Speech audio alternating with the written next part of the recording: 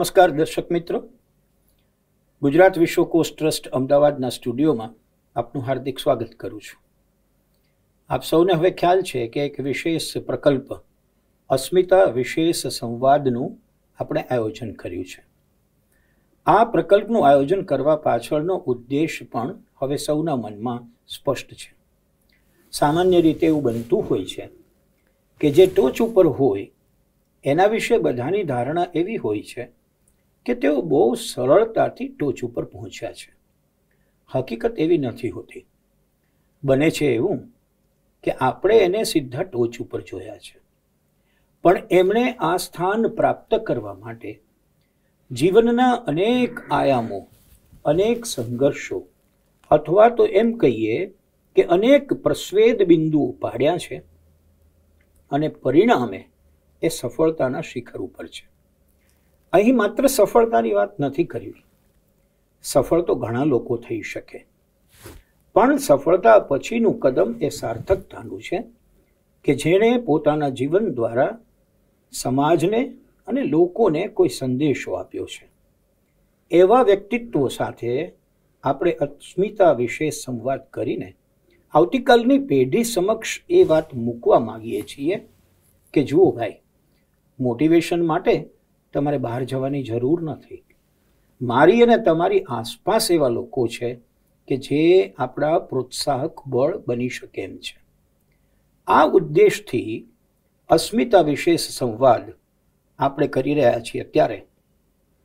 આજે બહુ ધન્ય પળ ગુજરાત વિશ્વકોશ ટ્રસ્ટ માટે અને સંતુલન રાજકોટ કે જે બે સંસ્થાઓ આ આખો સંવાદ આયોજિત કરી રહ્યું છે એના માટે છે.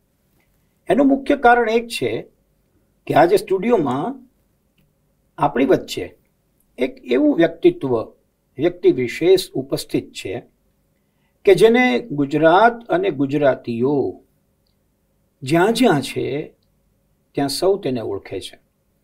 હું એમની ઓળખાણ આપવા માટે બહુ નાનો ગણાવું પણ મારે કહેવું હોય તો એટલું કહું કે જેને સમાજમાં અથવા તો કુટુંબ જીવનમાં રાજનીતિના જીવનમાં અથવા તો કોઈ પણ ક્ષેત્રમાં જરાક પણ ખલેલ ઊભી થાય તો જેમને બરાબર તકલીફ પહોંચે છે. અને એ તકલીફના આધારે જે સતત સમાજને જાગૃત કરવા માટે પ્રવૃત્ત રહે છે, એવા ગુણવંત શાહ આપણી સાથે છે. ગુજરાત તેમને સાહિત્ય રત્ન અને ભારત સરકાર તેમને પદ્મશ્રીથી સન્માન આપી ચૂક્યું છે. ગુણવંતભાઈ વિશે વધુ વાત ન કરવી જોઈએ, કારણ કે ગુણવંતભાઈ ખુદ આપણી વચ્ચે છે. અને મને વધુ એ ગમશે કે આપણે ઝડપથી ગુણવંતભાઈ સુધી પહોંચી જઈએ. ગુણવંતભાઈ આપણા સ્ટુડિયોમાં ઉપસ્થિત છે ત્યારે આપણા સૌ વતી, આપ સૌ વતી હું ગુણવંતભાઈનું આદરપૂર્વક સ્વાગત કરું છું. ગુણવંતભાઈ અમને બહુ જ આનંદ છે કે આજે પરિશ્રમ લઈને આપ અમારી વચ્ચે આવ્યા છો. મેં હમણાં કહ્યું એમ આ બહુ સહજ ભાવની ગોષ્ઠી છે. આપણો ઉદ્દેશ પણ બહુ સ્પષ્ટ છે કે આપણે વાત કરવી છે સર્જકના અથવા વ્યક્તિ વિશેષના જીવનની. વાત એવું થાય છે ગુણવંતભાઈ કે હમણાં મેં કહ્યું એમ સર્જકના મુખેથી અથવા આવા અસ્મિતા વિશેષ વ્યક્તિત્વના મુખેથી એમના જીવન વિશેની વાતો સાંભળવી એ આજની પેઢી અને આવતીકાલની પેઢી માટે બહુ જ રોમાંચક બની શકે. આપણી પાસે આવું ઓરલ ટ્રેડિશન સચવાયેલી નથી. એ સાચવવાનો આ નમ્ર પ્રયાસ છે. એટલે મારે આપની સાથે આપની જીવનયાત્રા વિશે નિરાંત જીવે વાત કરવી છે. હું શરૂઆત તો ત્યાંથી કરું, ગુણવંતભાઈ, કે આજે જે પ્રાધ્યાપક ડૉક્ટર ગુણવંત શાહ અહીંયા ઉપસ્થિત છે. એમને, એમના મા, એમને બા ગુણું કહીને બોલાવતા હતા. એ ગુણોના સમયથી આપણે આપણી યાત્રા શરૂ કરીએ. આપના જીવનમાં માતા પિતાનું તો બહુ મોટું પ્રદાન છે. કોઈ પણ બાળકના જીવનમાં હોય, પણ વિશેષતઃ એમના વ્યક્તિત્વ પણ એવા હતા કે જેમણે કોન્ટ્રીબ્યુટ કર્યું છે. હું આપને વિનંતી કરું કે આપણે શરૂઆત ત્યાંથી કરીએ અને આપ અમને વિગતે વાત કરો. ભદ્રાયું. ભદ્રાયું જ કહીશ ને? જરૂર. ભદ્રાયું તું મને ઓળખીશ. એક આખા બોલા માણસ તરીકે પણ તારે તને મારો પરિચય થઈ ગયો છે. પરચો થઈ ગયો છે. પરિચય નહીં પરચો. કારણ કે પંચિલ યાત્રામાં પણ પંચિલ પદયાત્રામાં પણ તારો સક્રિય સાથ હતો. એના કરતાં પણ વધારે સક્રિય સાથ માતૃભાષા વંદના યાત્રામાં હતો. કાલે જ મેં જાહેર સભામાં કહ્યું કે માતૃભાષા વંદના યાત્રાની ખરેખરી જવાબદારી ભદ્રયુભાઈએ નિભાવી હતી. એ માત્ર દેખાવ નહોતો, મારા હૃદયનો ઉદ્ગાર હતો અને એ કહેવા માટે હું ઘણા વખતથી તરસતો હતો. હવે પંચીલ પદયાત્રાનો ડીએનએ શું? ક્યાંથી આવ્યું મારામાં? તો એ મારી બા તરફથી મળ્યું. મારી બા સેવા ગયેલી હતી અને ગાંધી ગયેલી હતી. ઓહો. સેવા ગયેલી એટલે એવી કે વાત નહીં પૂછવી એનાથી મને નુકસાન પણ થયું છે. સવારનો ઉઠીએ ત્યારે બા હોય જ નહીં. બા ક્યાં છે તે કે ગઈ છે. ક્યાં ગઈ છે? હળપતિવાસમાં. બા ક્યાં છે તે ગઈ છે. ક્યાં છે તે કે હરિજનવાસમાં. બા ગઈ છે ક્યાં ગઈ છે? ખેતરે. એને સક્રિયતાનો રોગ હતો. એમ કહું તો ચાલે. એનથી ઘરે બેસીને ગૃહિણીના ધર્મો બજાવાય એવી એવી માનસિકતા જ નહોતી બા પાસે એની અમને ખોટ ગઈ છે. મને નુકસાન ગયું છે એના લીધે કારણ. આ કહેતા મને સંકોચ નથી થતો કારણ કે બા મને જે નુકસાન પહોંચાડતી તે પણ મારા હિત માટે પહોંચાડતી. યસ માતાનું હિત. એટલે એ મને વારંવાર કહેતી ગુણ તને આમાં સમજ નહીં પડે. મેં કહું પણ આમાં સમજ નહીં પડવા જેવું છે શું? તો બા મને સમજાવી શકતી નહીં કારણ કે હું દલીલ બાજ હતો પહેલેથી. પહેલેથી દલીલ ભાઈ. એટલે કે તને દલીલમાં નહીં પહોંચી વળાય બહુ બા નહીં પહોંચી વળાય એનો અર્થ એમ થોડો કે તું સાચી છે. મને એ પિક્ચર જોવા દેતી નહોતી. એમ. કોઈ દિવસ પિક્ચર નહીં જોવા દે. એનો લાંબો ઇતિહાસ છે એટલે હું નથી કહેતો. પણ ફિલ્મ જોવાની છૂટ નહોતી મારા ઘરમાં. કોલેજના એસએસસી પાસ થયો. અને કોલેજમાં બીએસસી પાસ થયો. એ ચાર વર્ષના ગાળામાં મને એક પણ પિક્ચર મેં જોયું નથી. કેમ કે મેં જ છોડી દીધું. મેં આ માગી બીખીને પિક્ચર જોવા છાનામાના પિક્ચર જોવા એકવાર છાનામાના પિક્ચર જોયું સત્યવાદી હરિચંદ્ર જૂઠું બોલીને સત્યવાદી હરિચંદ્ર જોયેલું મેં. મોહન ટોકીઝમાં સુરતની. સુરતની મોહન ટોકીઝમાં જોયેલું એટલે મારા માતૃત્વના ખ્યાલો જુદા છે. ક્રાંતિકારી છે. પણ ક્રાંતિકારી કે છે કે એમ કહીને મારી બાને ઉતારી પાડવા માગતો નથી. એ એટલી સેવાભાવી હતી અને ગાંધીજી પર એવો આંધળો વિશ્વાસ કે ગાંધીજીના જે કેટલાક ફેટ્સ હતા કે જે મને આજે પણ સ્વીકાર્યા નથી, તે ફેડ એને મારી પર લાદેલા. પિક્ચર નહીં જોવાનું કેમ કે બગડી ગયો ચારિત્રમાં જ બગડી ગયો એક પણ નવલકથા મને વાંચવા દીધી નથી. હું નવલકથા વાંચ્યા વગર નવલકથા લખ્યો. એ મારી નવલકથા સફળ ન થઈ એનું કારણ બા. કારણ કે મારી બા એમ કે નવલકથા વાંચવાથી બગડી જવાય. હવે આ ક્યાંથી લાવીએ? પછી હું એને સમજાવું કે મનુભાઈ પંચોળ તો લોક ભરતીના છે ને મારી બા લોક ભરતીની વિદ્યાર્થીની અચ્છા. નાનાભાઈ ભટ્ટની શિષ્યા. ઓહો. બીજુભાઈ બધેકાની શિષ્યા. અને ખરે ટાણે ગયેલી જુવાનીમાં. એ ત્રણ ત્રણ જણા મારતે આવી ગયા છે. કોણ નથી આવ્યો સવાલ? મનુભાઈ પંચોળી નાનો ખ્યાલ. તો મારી બા નવલકથા વાંચવાની દે મેં કહું મનુભાઈ પંચોળી લખે તો કંઈ નહીં. એ બગડી નથી ગયા ને. તારું પતન શરૂ થઈ ગયું એમ કે. હવે પતન થશે જોયું નવલકથા લેખનને. મેં ત્રણ નવલકથા લખી વેચાય છે વંચાય છે. પણ મારી બારે તો લોકો આવે તેને ફરિયાદ કરે. આ ગુણ જો નહીં એમ કે. નવલકથા લખે બોલો. હવે બોલો. એટલે હું વેશ્યાગૃહે ગયો તેમ બોલી. હું વેશ્યાગૃહે ગયો તેની જે ટીકા થાય તેવી ટીકા નવલકથા લખવાની થાય. મારી સ્થિતિ કલ્પના કરો તમે. So I never respected by mother on such accounts okay હું નહોતો માન આપી શકતો. આ છેક આટલો હઠાગ્રહ. હું ગાંધીજી વચ્ચે ક્યાં આવ્યા? મનુભાઈ પંચોળી કેમ લખે છે? મનુભાઈ પંચોળી મને બહુ બહુ મેં ઉપયોગ કર્યો છે. મનુભાઈ પંચોળી ગાંધીવાદી છે. એ એ લખે છે ને. હવે મારી નવલકથામાં એમ આવે કે હીરો હિરોઈન ભેગા થયા અને જરાક થોડો રોમાન્સ કર્યો. તો મારી બાને તો રોમાન્સ જ પસંદ નહીં. My my mother was as anti romantic as Gandhi was Gandhiji એટલી જ એન્ટી રોમેન્ટિક હવે ગાંધીજી કસ્તુરબા હાથે કોઈ છૂટ નહીં લે પણ પણ ત્યાંના ચાર છોકરા થયા. શું કહેવું યાર? આવી વાત કરો તમે. એટલે મારી બાને હું કહેતો પછી મારી બા જાહેર જીવનમાં ફરે, એટલે કેટલા પુરુષો સાથે ફરવાનું થતું હોય ને? તો હું પછી બાને કહેતો કે, તું આ, મને મોલાની મોલાની છોકરી સાથે વાત નહીં કરવા દે. એનો ઉપાય શું બાનો- બાનો માસ્ટર સ્ટ્રોક શું ખબર છે? કિશોરલાલ મશરૂવાળાની પુસ્તિકા, સ્ત્રી પુરુષ મર્યાદા. જેમાં કિશોરલાલ એમ કહે છે કે એક બેઠક પર પણ ભાઈ બહેન પણ ભેગા બેસી શકે નહીં. આટલી રિજિડિટી એટલે હું કોઈ છોકરી સાથે બોલું, તો છોકરીને સ્ત્રી પુરુષ મર્યાદા આપી આવે. મને તો આપે જ. એનો અર્થ એમ થયો, એનો સારું તે કઢાયું મારી પાસે. એનો અર્થ એમ થયો કે ચાલો હું તો નોર્મલ લાઈફ જીવી જ નહીં શકું. એટલે અમે લોકો છૂટથી વાત કરીએ કોઈ પરસ્ત્રી સાથે તો દોષી હોવી જોઈએ. અચ્છા. હમ. દોષીઓ તેની સાથે મુક્તિથી વાત થઈ એટલે અમે ડોસીમાઓ સાથે બિલકુલ નિરાંતે વાત કરી શકતા.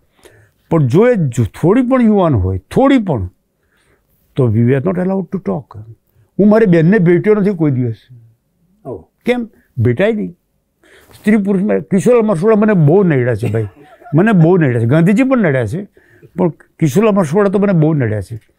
કોઈ પણ છોકરી સાથે મેં જરાક હસીને વાત કહી એટલે એ છોકરીને સ્ત્રી પુરુષ મર્યાદા પહોંચી જતી, પુસ્તિકા.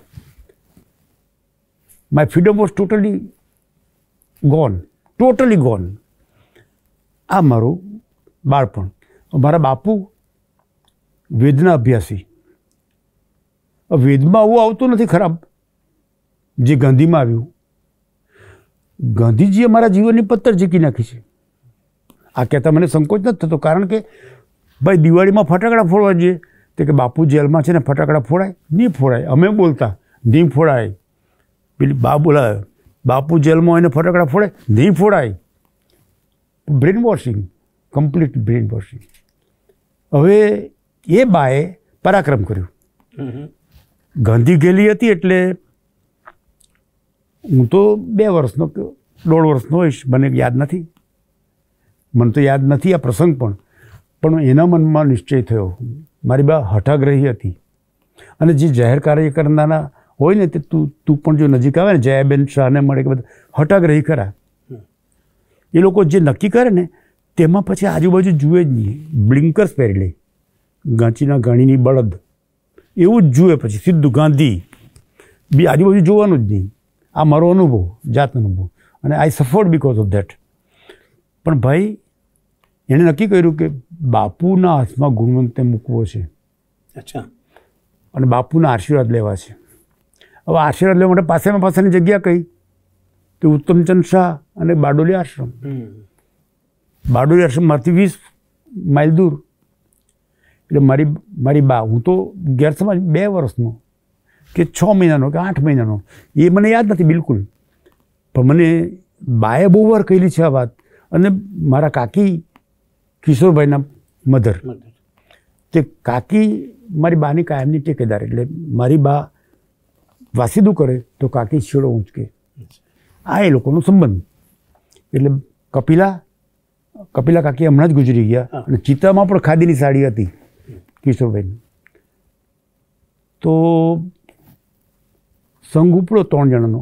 કપિલા કાકી મારા બા અને હું નાનો. બારડોલી પહોંચી ગયા હોવા જોઈએ. બા તો લઈ જ ગઈ. કાકીએ પણ વાત કરી છે બને. બાપુને મળ્યા તેની બધી વાત કરી છે કાકીએ પણ. અને કાકી તો હમણાં ત્રણ, બે વર્ષ પર જ ગુજરી ગયા. એટલે છે ઓથેન્ટિક બધી વાત. બાએ તો મને ઘણીવાર કહેલી, એમ પણ કહેવા માટે કે તને ખબર છે તું કોણ છે તે? આ નવલકથા લોકો બેઠો. પતન શરૂ થઈ ગયું તારું. અને બીજા લોકો આવે તેને કહે સરોદયવાળો જગદીશ શાહ આવ્યો. એક દિવસ અમે બુધન માતા હાથે જગદીશભાઈ, આ ગુણનું પતન શરૂ થઈ ગયું. એટલે બાકીના લોકો બી મને દયા ભાવે જુએ કે આ કેવું પત, પતિત માણસ છે.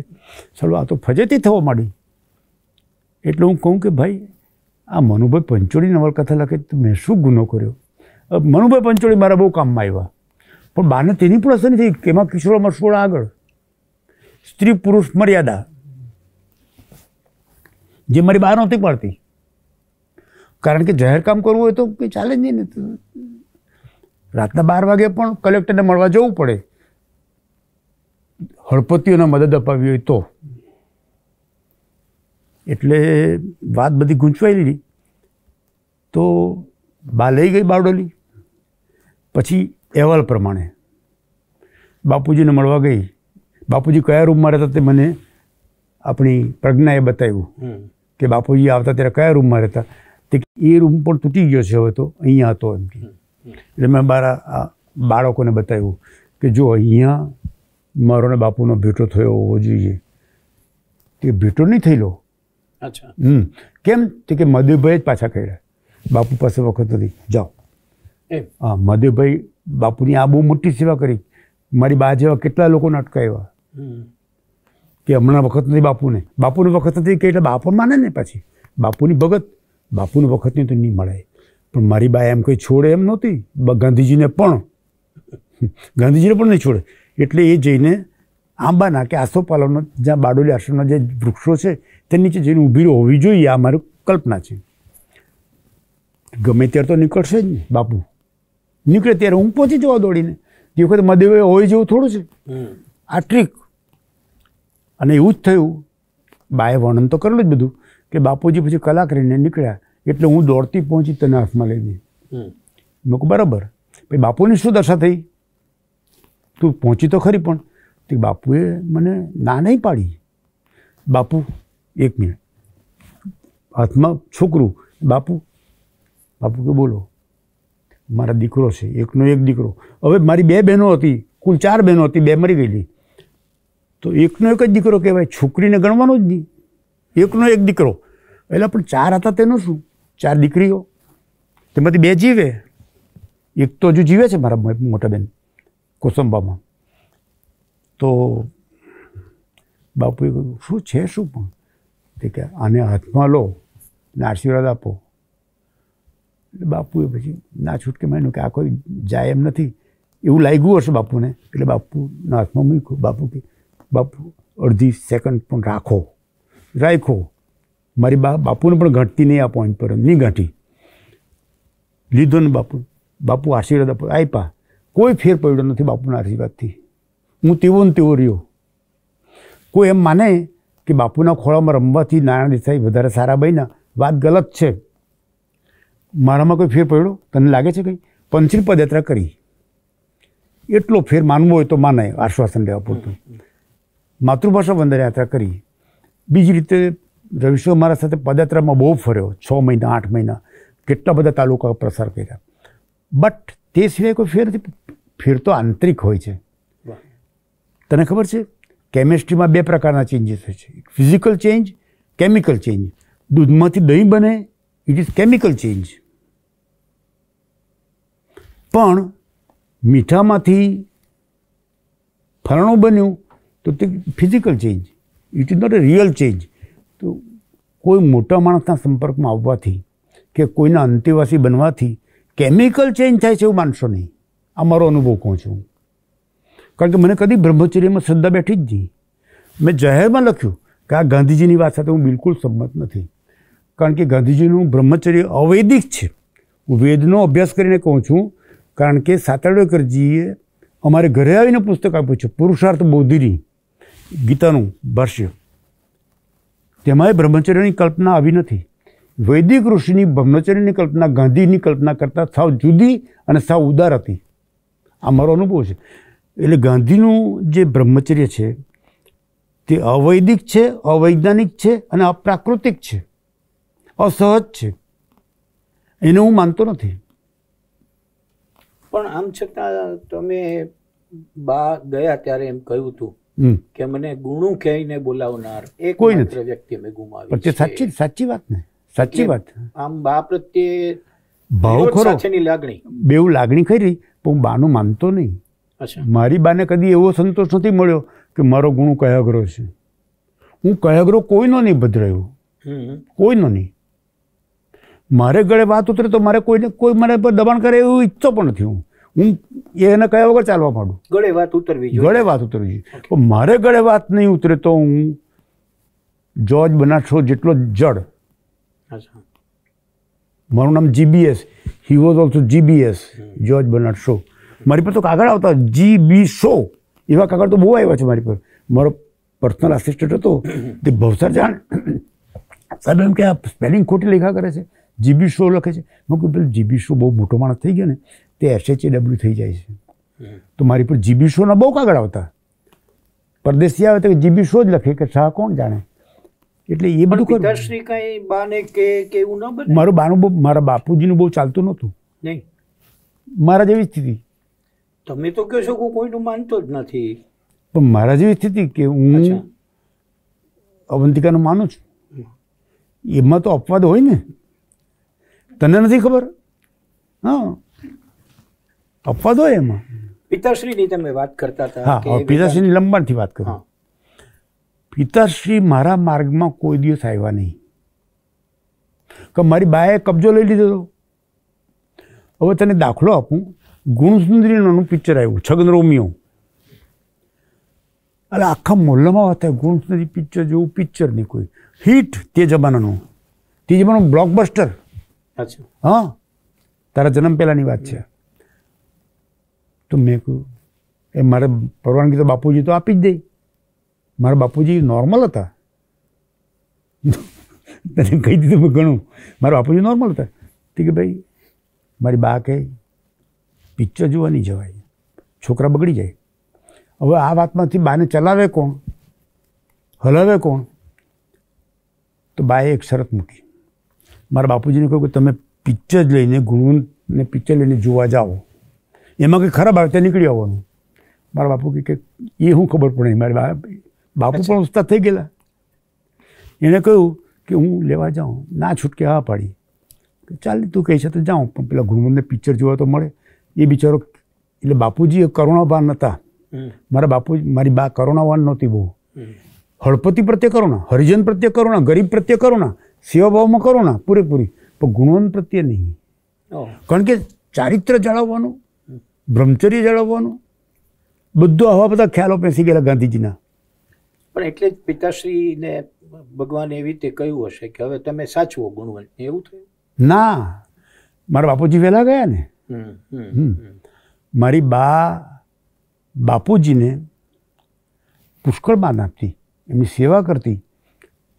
પણ સારું ખાવાનું આપે એવો સમય એની પાસે નહોતો. કારણ કે પબ્લિક વર્કમાં એટલી બધી તે જયાબેન શાહને જોયા હોય તો તને સમજી જશે ખ્યાલ આવે.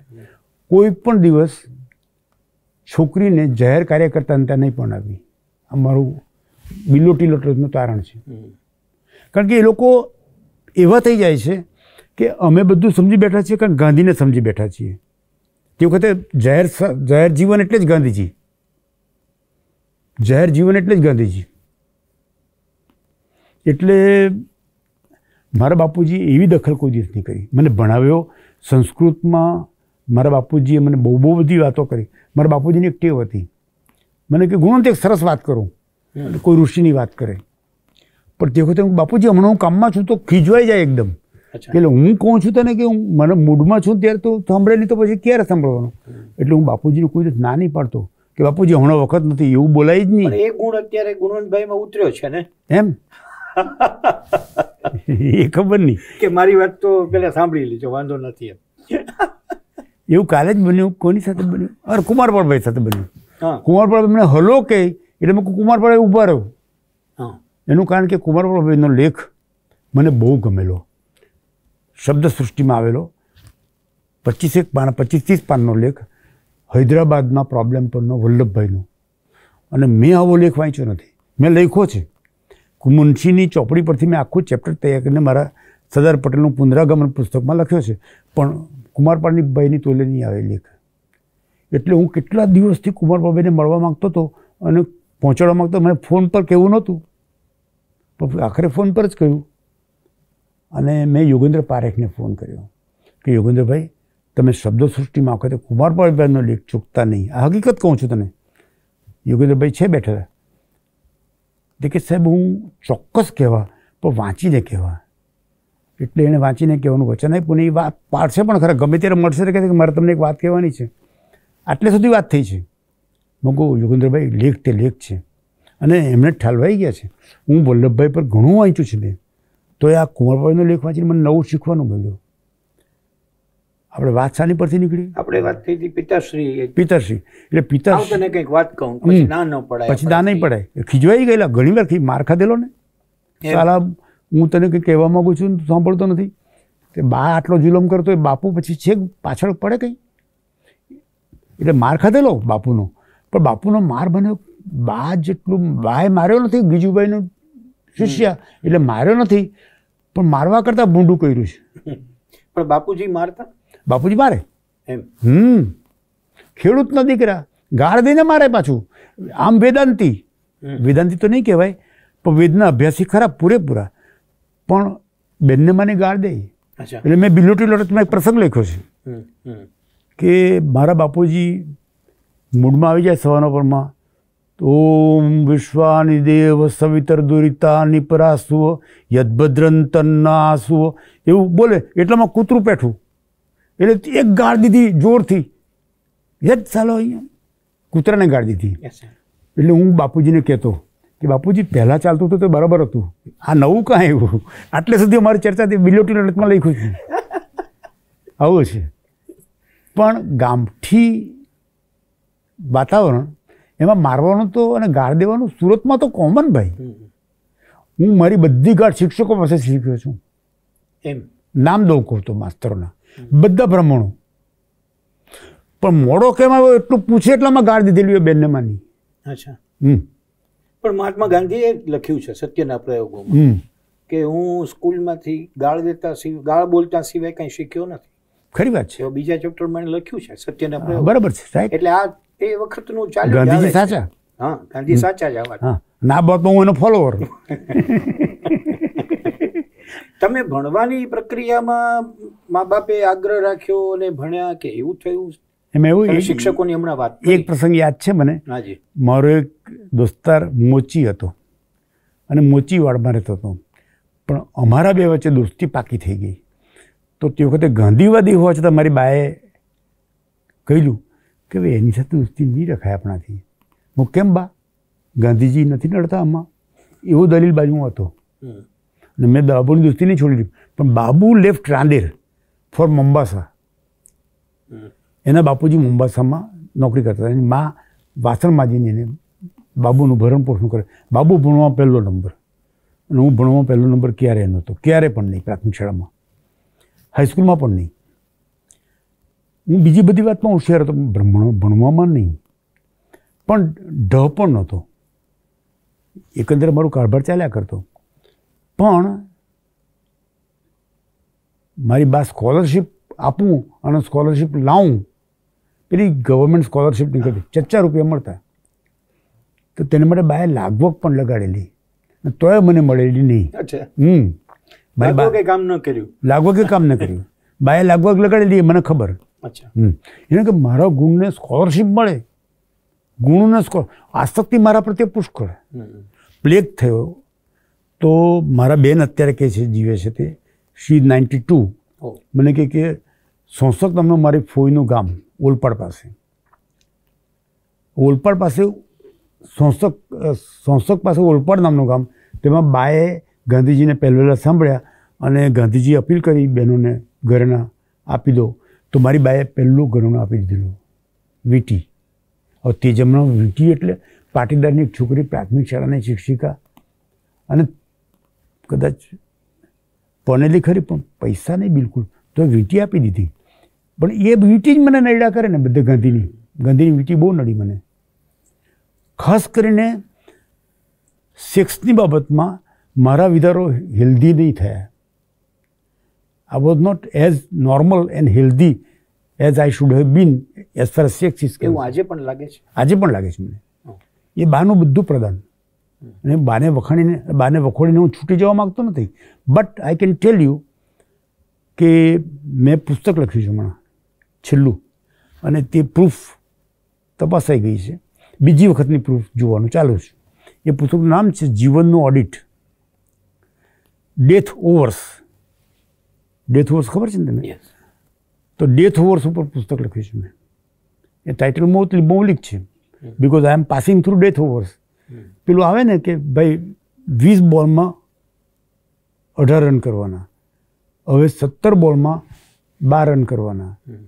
હવે આઠ બોલ રહ્યા છે અને ચૌદ રન કરવાના. એ જે કટોકટી ચાલે I am going through that અને I I I do admit હું કબૂલ કરવા માગું છું કે I was not normally nurtured as far as sex is concern કારણ કે મારે માટે હું બેઠેલો હું અને મારી પાસે એક સ્ત્રી બેઠી હોય અને એકાંત હોય, એ વસ્તુ નોર્મલ હતી જ નહીં.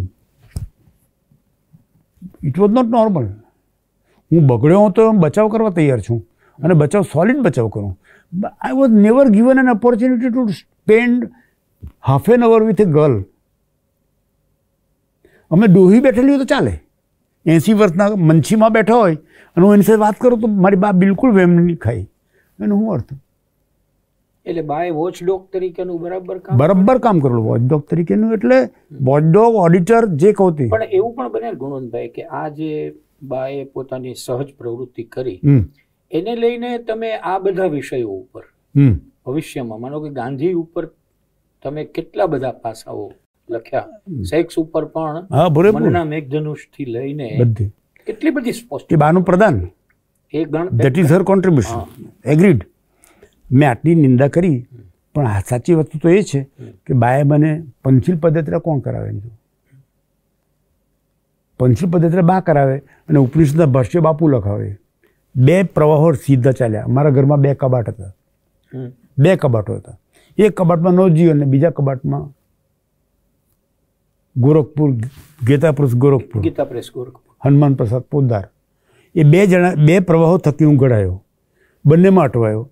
અને છતાં ભગવાનની મહેરબાની એવી કંઈક કે બંનેને બંનેના મા બાપના આશીર્વાદ પણ એવા. મારી બાકી દુશ્મન તો નહોતી જ મારી. એને પ્રેમ આપ્યો છે પુષ્કળ. પણ પ્રેમ કરવાની રીત એની રીત હતી. હવે એ જે સમજ હતી પ્રાથમિક શાળાની શિક્ષિકા હતી આચાર્ય હતી આદર્શ હેડમિસ્ટ્રેસ ઓફ પ્રાઇમરી સ્કૂલ. આખા ગામમાં વટ. પ્રાઇમરી સ્કૂલની શિક્ષિકાનો વટ કેટલો હોય? હેડમિસ્ટ્રેસ તો એ શિક્ષિકા લોકો મહેતી કહે અચ્છા. હમ મહેતી જ કહે તમે નરસિંહ મહેતાના વાઈફને કોઈ મહેતી સિવાય બીજું કોઈ કહ્યું છે? પૂછો. તને હું જણાવવાની રજા લઉં છું કે નરસિંહ મહેતાના વાઈફ બહુ બ્યુટીફુલ હતા. એ તને ખબર છે? એનું ગામ કયું? એના ગામમાંથી પુસ્તક બહાર પડ્યું છે. મને એ મોકલ્યું છે માણસે.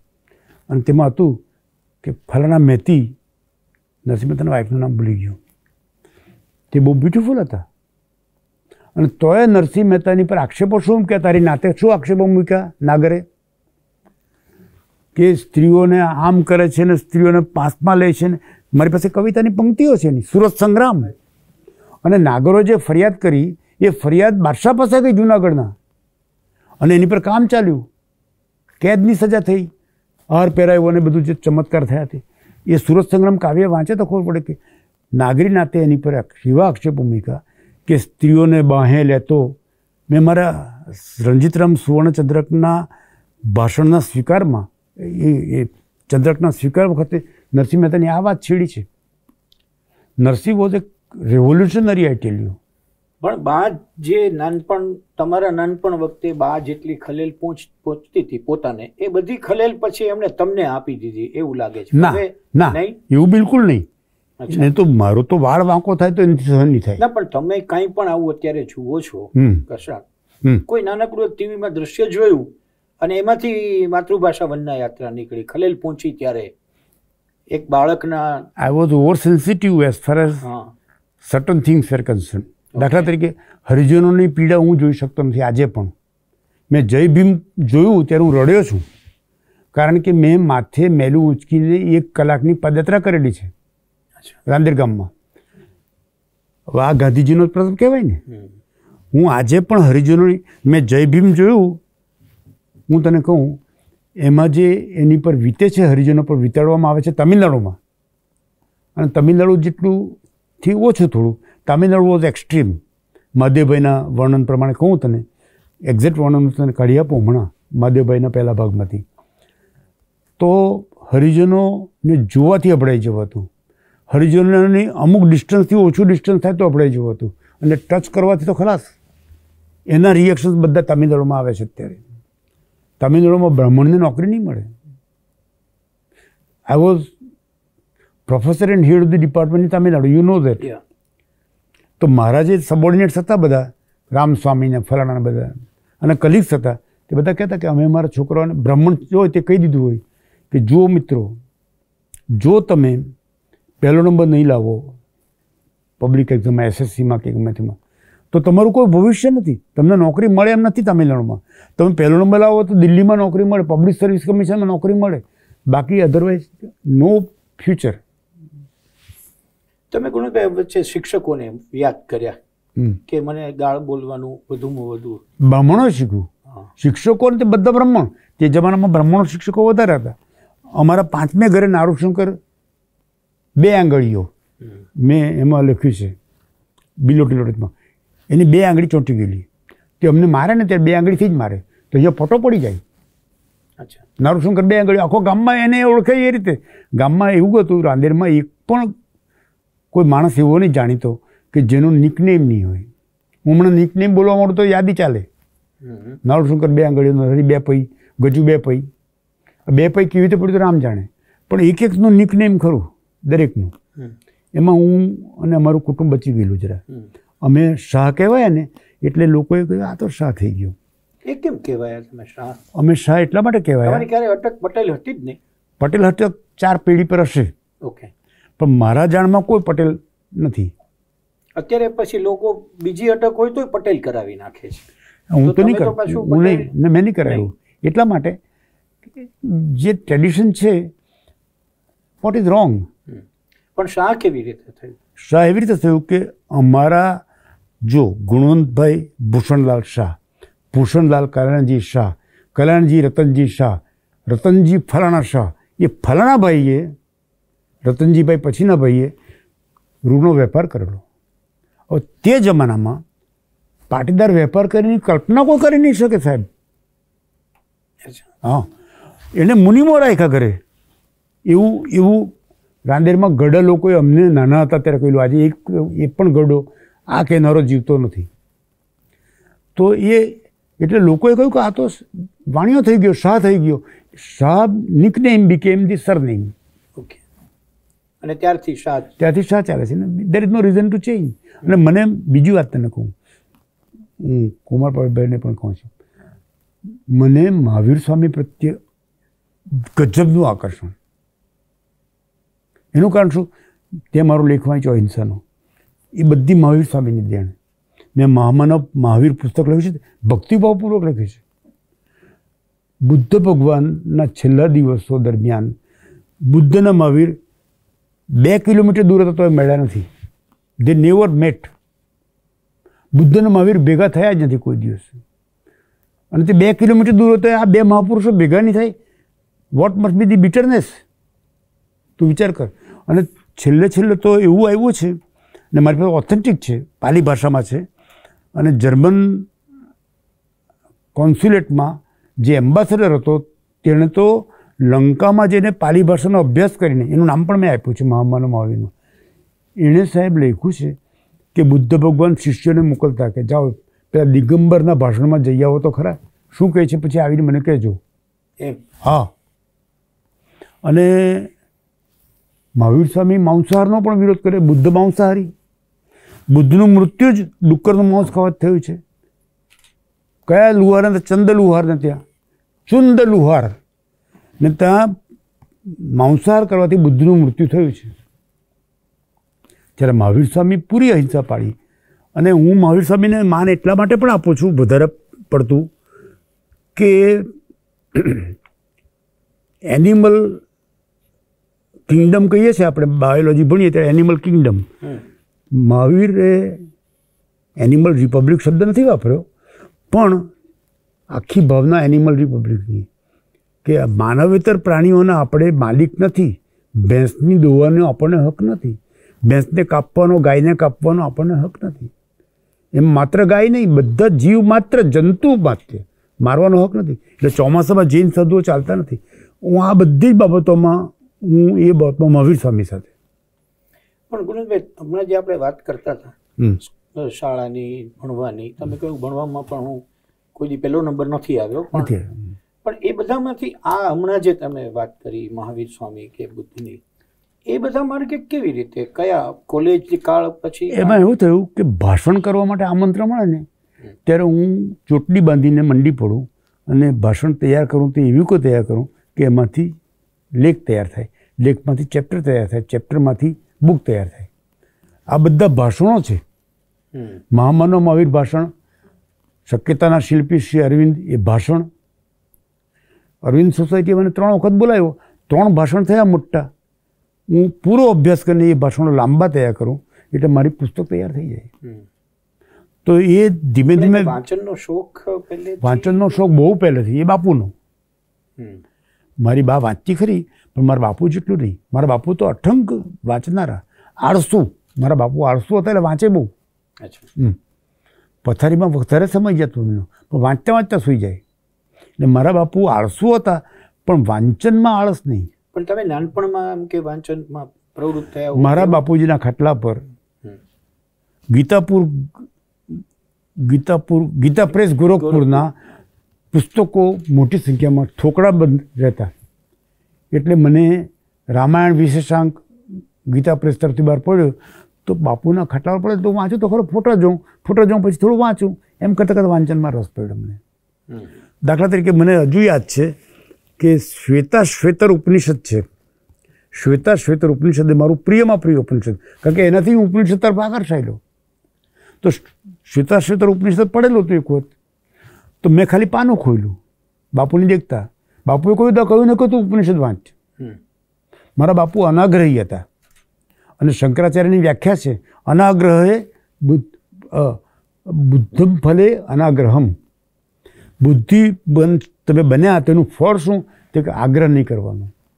એટલે આગ્રહ કરવો એ બુદ્ધિની નિશાન નથી. મારા બાપુજી કોઈ આગ્રહ પાછળ નથી. કે આમ આમ જ કરવાનું આમ. એવું નથી થયું. તો શ્વેતાશ્વતર ઉપનિષદનો સ્પેશિયલ અંક પડેલો હતો ગીતા પુસ્તક આજે પણ છે મારે ત્યાં. તેમાં એક એવું આવ્યું કે જેમ તલમાં તેલ સંતાયેલું છે, તેમ આ આત્મતત્વ અથવા બ્રહ્મતત્વ એ કણ કણમાં સંતાયેલું છે. This appeal to me. કહેલા, વેદના જમાનામાં તેલ હતું. તેલ હતું એટલે ગણી હશે. ગણી તો છે તે ઉમરા વડે વાટ્યું હશે. પણ તેલની શોધ એ વૈદિક શોધ છે. એ મેં શોધી કાઢ્યું બહુ નાનપણમાં. કે તેલ એટલે બાપુને કન્સલ્ટ કરું. બાપુ મને જવાબ આપવા તૈયાર હંમેશા. બાપુ અંગ્રેજી પણ જાણતા હતા. અને એસએસસી ફેલ ગયેલા એનું કારણ કે પાઠ્યપુસ્તકો જ ખરીદવાના પૈસા નહીં એટલે પાઠ્યપુસ્તકો વગર તમે કેવી રીતે પાસ થાઓ my father had no money to purchase a text book geometry તો જોમેટ્રી વાંચે કેવી રીતે? એને તો મારા બાપુ ભણી નહીં શકેલા. બાકી એ તો ગ્રેજ્યુએટ સુધી પહોંચતી. અને તે વખતે ગ્રેજ્યુએટ શું? હા? એમનો વ્યવસાય શું હતો? આળસ. આળસ? હમ. બિલકુલ. ઉપાર્જન? ઉપાર્જન ખેતી. અઢાર વીઘા જમીન હતી સત્તર વીઘા. અને તે રમણના રમણને ઓળખી રમણના બાપુજી ખેડી આપતા. એને એ લોકો શું કહેતા તે જમાનામાં? હાથ ભાગે. હાથ ભાગે એટલે કસન કાકા ખેડે અમારી જમીન. એમાંથી જે ઉત્પન્ન થાય એનો અડધો ભાગ મારા બાપુજીને આપી દેવાનો. અને ઓનેસ્ટલી આપે. તે જમાનામાં ઓનેસ્ટી વોઝ નોટ એ કષ્ટસાધ્ય વિષય નહોતો, સહજ હતો. ભગવાનના ગુનેગાર કહેવાય એ. જમાનો, એટલે મને મારા બાપુને જે ઇન્કમ મળી કસનકાકા કાકા તરફથી, તેમાં હું મને તે માનતો રૂપિયો ઓછો આવ્યો હોય. આ હું કહી શકું. રમણની ઓનેસ્ટી પરથી પણ કહી શકાય તમે કે આજે રમણ કોઈ દિવસ એક પૈસાનો ડિસઓનેસ્ટી મારી સાથે કરી શકે જ નહીં. મને એવો એમ પડે પણ નહીં. અને રમણ એવું કરે પણ નહીં. તે જમાનાની વાત કરું છું. So it was an honest એ સમયથી રમણ રમણભાઈ સાથેનો એટલે ભાઈ કપડાં પહેર્યા વગર ના જાય. કપડાં વગર રમેલા મોલ્લા ફળિયામાં. અચ્છા. હા. મેં એને કોઈ તને પદ્મશ્રી કેમ નહીં મળ્યો? તું પણ રમેલો મારી હાથે તો. રમણ કે અમારામાં અક્કલ ઓછી ને એટલે. મેં કહું ભાઈ અક્કલ તો અક્કલ ખરી. પણ રમણ હોવું કે. પણ રમણ મને કંઈ પણ મળે તો એ જેટલો ખુશ થાય તેટલો હું નહીં થાઉં. એટલો રમણ ખુશ થાય. આવા સાચા સંબંધો જ નથી રહ્યા ભાઈ. તું તો મળ્યો છે એમને. આજે પણ રમણનું વાંચન મારા કિશોર કરતાં સારું. આચાર્ય છે કિશોર. પણ રમણ વધારે વાંચે. તેમાં આચાર્ય કૃપાણીની આત્મકથા એ રમણનું પ્રિયમાં પ્રિય પુસ્તક. આવડું વોલ્યુમ છે. અને અનુવાદ કરેલો નગીનદાસ પારેખે. પણ રમણનું પ્રિયમાં પ્રિય પુસ્તક. એક ચોરાઈ ગયું કોઈ આપ્યું તો લઈ ગયું તો બીજું મંગાવ્યું એણે. હમણાં વાંચે છે બધું પુષ્કળ વાંચે છે. રમણ વાંચે પુષ્કળ. તે વખતના ખેડૂતો નવરા હતા ને તેના બે ઉપ થતા. કોઈ ગાંજો પીવા ચડી જાય. અને બાકીના વાંચે. વાંચનારા ઓછા ને ગાંજો પીનારા વધારે. વ્યસનના માર્ગે બહુ ચડી જતા ખેડૂતો. અને પછી આ આપ બોર્ડની પરીક્ષા પસાર કરી હશે એમાં કોઈ પરિણામ સારું આવ્યું? મારી બોર્ડની પરીક્ષામાં મારા તેસઠ ટકા માર્ક આવેલા. તે તો બહુ સારા કહેવાય કારણ કે તેની જેમ અત્યારે તો નવ્વાણું નવ્વાણું ટકાની પાસે હા તો બસો ટકામાં તો તે વખતે મોહલ્લામાં અફવા ઉડી મારી મારી કાકી હતી નાની કાકી જેકોર કાકી. ભારે જ તોફાની. તો એ વાત લાવી આમ આમ કરતાં કરતાં એમ પસાર થાય અને કાછડો આમ આમ કરતી જાય અને કે લોકો તો ગમે તેમ બોલતા હોય છે એમ કે એટલે આપણને એણે ટપકું મૂક્યું. કે તમારે સાંભળવું હોય તો સાંભળો. એટલે હું મારા જેવો તોફાની પૂછે કે કાકી લોકો શું વાત કરે છે? તે કે લોકો વાત કરે છે મહિમય મહિમય એમ કે પાછા. મહિમય તો એવી વાત ચાલે છે કે આ ગુણવંતને જે બાસઠ ટકા મળ્યા ને કે તે ટકા સારા મળ્યા ને મોરારજી દેસાઈની લાગવગ લગાડી દીધી. એમ? હા એ બિલોટી રથમાં છે મેં લખ્યું.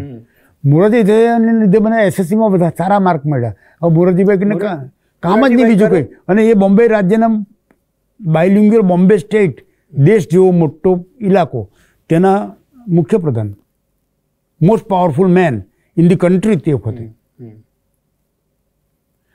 આવું આવું ગામડું હતું ભાઈ. પણ મોરારજીભાઈ ધન્ય કહેવાય તો આ વાત ઉપર. એમાં ધન્ય હું. પણ મારે એટલું ખરું કે મને મોરારજીભાઈ સાથેનો પરિચય થયો. હા. અને પરિચય કોઈના કરાવવાથી નથી થયો. હું એક જ વાર ગયો અને મોરારજીભાઈને ગમી ગયો. તો પછી એવું બનવા માંડ્યું. મોરારજીભાઈ કોઈ કહે નહીં કે તમે આવ્યું તે મને ગમ્યું. એવું તો દેહાય કહે જ નહીં કોઈ દિવસ. અનાવિલ કહે જ નહીં. આ અનાવિલના સ્વભાવ નહીં. પણ એ આડકત રીતે મને કહેતા. બહુ દિવસે દેખાયા. બહુ દિવસે દેખાય. ઇટ્સ એ કોમ્પ્લિમેન્ટ ફ્રોમ દેહાય. દેસાઈ આવું નહીં બોલે. બહુ દિવસે દેખાય એટલે તમે તમે આવો છો તો મને ગમતો હોતો જ મને લાગે ને એવું.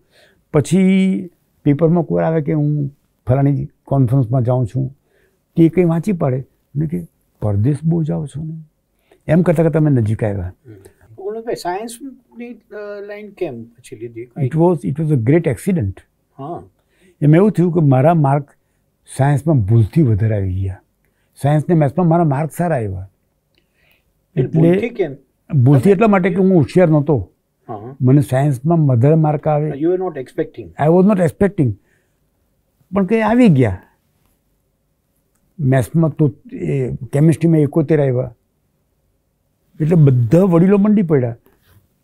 ગુજરાતીમાં પણ એટલા માર્ક નહીં આવેલા. તપાસે કોણ?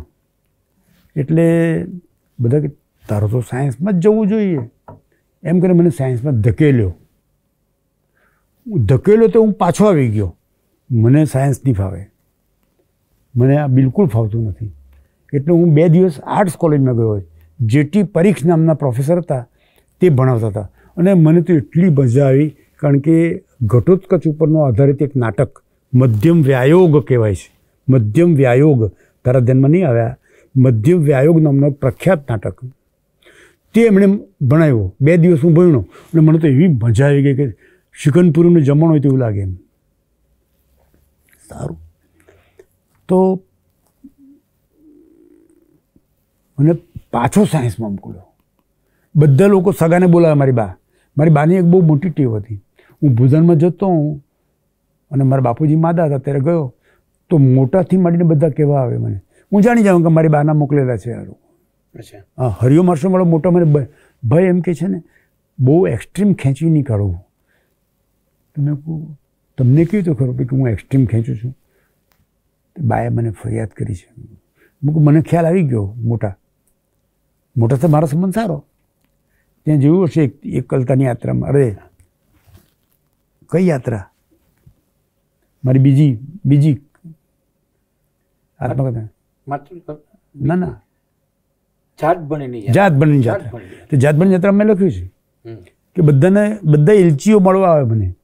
ભાઈ વ્યવહારુ બનવાનો. હવે હું તમને કહું કે મને વ્યવહારુ બનવાની સલાહ એટલી મળી કે હું વ્યવહારુ બની શકતો જ નથી. આઈ કેનોટ બી પ્રેક્ટિકલ કાલે પણ મારથી બોલાઈ ગયું ને? કે મને ગાળ ખાવામાં વાંધો નથી. હું ગાળ ખાવું એ મારી હોબી છે. ગેરસમજ થતી હોય તો થવા દેવી એ મારી હોબી છે. એમ મેં કહી દીધું કાલે. એ તો મોદીનો મોં બોલે તેથી ગાળ ખાવી પડે છે. આઈ ડોન્ટ માઇન્ડ ઇટ પછી પાછા સાયન્સમાં તમે પછી સ્વીકારી લીધું? સાયન્સમાં સ્વીકારી લીધું. પછી લંગડા તો લંગડા તો બીએસસી સુધી પહોંચ્યો. અને બીએસસીમાં સેકન્ડ ક્લાસ માંડ આવ્યો. કારણ કે બીએસસીની પરીક્ષા વખતે તો મારી પદયાત્રા ચાલે. રવિશ્વર મહારાજ ઘરે આવેલા હોય. રવિશ્વર મહારાજ ઘરે હોય ત્યારે મારે બીએસસીના પેપર આપવાના. મારું ચિત્ત જ નહીં એમાં અને છતાં પાસ થઈ ગયો. કિશોરભાઈના માર્ક મારા કરતાં વધારે. કિશોરભાઈ ઢ હતા ભણવામાં. પણ તો કેમિસ્ટ્રીના ને બધા કોન્સેપ્ટ બહુ ક્લિયર છે. વાતો જ્યારે વાંચીએ ત્યારે એમાં એ પાછલી- જાય છે. પાછોતરી એસ પોસ્ટ ફેક્ટર વિઝડમ છે. પાછળથી મેચ્યોરિટી આવે ને. એટલે મને મને ફિઝિકલ કેમિસ્ટ્રીમાં રસ પડતો ફિઝિકલ કેમિસ્ટ્રીમાં મને રસ પડતો. ફિઝિક્સમાં રસ પડતો. પણ મને કેમિસ્ટ્રી ઓર્ગેનિક કેમિસ્ટ્રી આવે એટલે ટાળ છૂટતી. કારણ કે ગોખણ પટ્ટી કરવાની. કારણ કે કૃષ્ણના જીવન સંગીતમાં પણ ચેપ્ટર શરૂ થાય હા. એ પહેલા કેટલી બાબતો એવી કોટ બિલકુલ, બિલકુલ. સાયન્સ છે? સાયન્સ સાયન્સ તે આજે મારે કોન્સેપ્ટ ક્લિયર એ મને ક્યાં કામ લેવું તે તમને કહું. When I went to Madras my department I was the head of the department education પણ education department cuts across all the departments mechanical engineering electrical engineering mathematic mathematics એવા ચાર ડિપાર્ટમેન્ટ હતા. તેના હેડ એ બધા મારી પાસે આવ્યા કરે. હવે હું ભણાવું તે બધા પોલિટેકનિકના વિદ્યાર્થીઓ, ચારે ચાર પ્રાંતો. Andhra. I was the only professor in South India Madhubhai મને કહેલું એકવાર કે, ગુણવંત તું જાય છે ને, પણ you are the only professor in the whole of the subcontinent હું વાત છે. ગયો હું તો. તો બધા જ એન્જિનિયરિંગ કોલેજો અને મેથેમેટિક્સ ને સાયન્સના ડિપાર્ટમેન્ટમાં હું લોકપ્રિય. તેનું કારણ શું? કે હું ક્લાસમાં જાઉં ત્યારે જે દાખલા આપું તે એજ્યુકેશનલ તો આપતો હું તો બીએડમાંથી ગયેલો એમએડમાંથી પણ દાખલા આપું તેમાં હું કેમેસ્ટ્રીના દાખલા આપું ઇલેક્ટ્રોમેગ્નેટિક ઇન્ડક્શનના દાખલા આપું. તે બધું મને મેમરી પાછલી ખપ લાગી. અને ત્યાં હું બહુ લોકપ્રિય. એટલે મારા લેક્ચર સંભાળવા ભલભલા પ્રોફેસરો મારા ક્લાસમાં પાછળ રજા લઈને પાછળ બેસે. એટલો લોકપ્રિય થયો હું મદ્રાસમાં. અચ્છા. હમ એટલો લોકપ્રિય થયો. કે તે આપણી મેચ્યોરિટી વધે તેમ કોન્સેપ્ટ બીએસસી પછી આગળ એમએસસી કરવાનું ના, સવાલ મારી શક્તિ જ નહોતી ભાઈ. અચ્છા. કંટાળો આવી ગયો મને ઓર્ગેનિક કેમિસ્ટ્રીમાં ને એમાંથી. એટલે મને સાયન્સ પ્રત્યે ઘૃણા થઈ ગઈ. When I join B Ed after six months or after one year મને બીએડમાં પહેલા દિવસ એમ લાગ્યું this is where I belong I belong to આ આ મારી આ મારી તમારો પોતાનો નિર્ણય હતો હા મારો. બીએડ થવું પડ્યું કારણ કે સ્કૂલે ડેપ્યુટ કર્યો મને. રાધેની સ્કૂલે લોકમાન્ય સ્કૂલ. એટલે બીએડ થયા પહેલા ત્યારે એ વખતે ડેપ્યુટ કરે તો જ બીએડ કરી શકાય ના એવું નહોતું. નહીં? એવું નહોતું. પણ મને મોકલવો જ પડે એવું હતું. કારણ કે વગર પગારે જનારો તૈયાર એવો હું એક જ માણસ હતો. મેં બધી વગર પગારે નોકરી કરી છે. દાન આપી દીધો હતો મારી બા આપવા પણ જતી કેમ કે ભાઈ, ઠેકાણ તો પડે છે નહીં તો ચાલ ચાલ કર્યા કરશે મહારાજની હાથે. એટલે મારી બાએ હું દાન આપું તેમાં બિલકુલ વાંધો નહીં લીધો. છોકરો ઠેકાણે પડતો હતો અને મારા વિવાહ કરાવી દીધા. વિવાહ કરે અને નોકરી કરે તો કંઈ પ્રેક્ટિકલ બને નહીં તો આ તો આ તો ગેરવલ્લે ગયો છે છોકરો. પણ એ પહેલા ભૂદાનમાં તો જોડાઈ ગયા હતા ને. હું ભૂદાનમાં જોડાઈ ગયેલો તો એ એનાથી તો બા રાજી થયા હશે. નહીં બિલકુલ નહીં. કેમ? છોકરી કોણ આપે? આવા છોકરાને હા? આવા છોકરાને કોણ મને એમ હતું કે આ માર્ગે વળ્યા તો બિલકુલ નહીં. મળ્યો નહીં નહીં નહીં. બિલકુલ નહીં. બાપુ પણ વિરોધમાં. મારા બાપુ વધારે વિરોધમાં. અરે બા ભાઈ એક કલાકની યાત્રા પૂરી થઈ છે. થોડો આરામ કરીએ. બિલકુલ. અને પાછો સંવાદ આપણે આગળ ઓકે.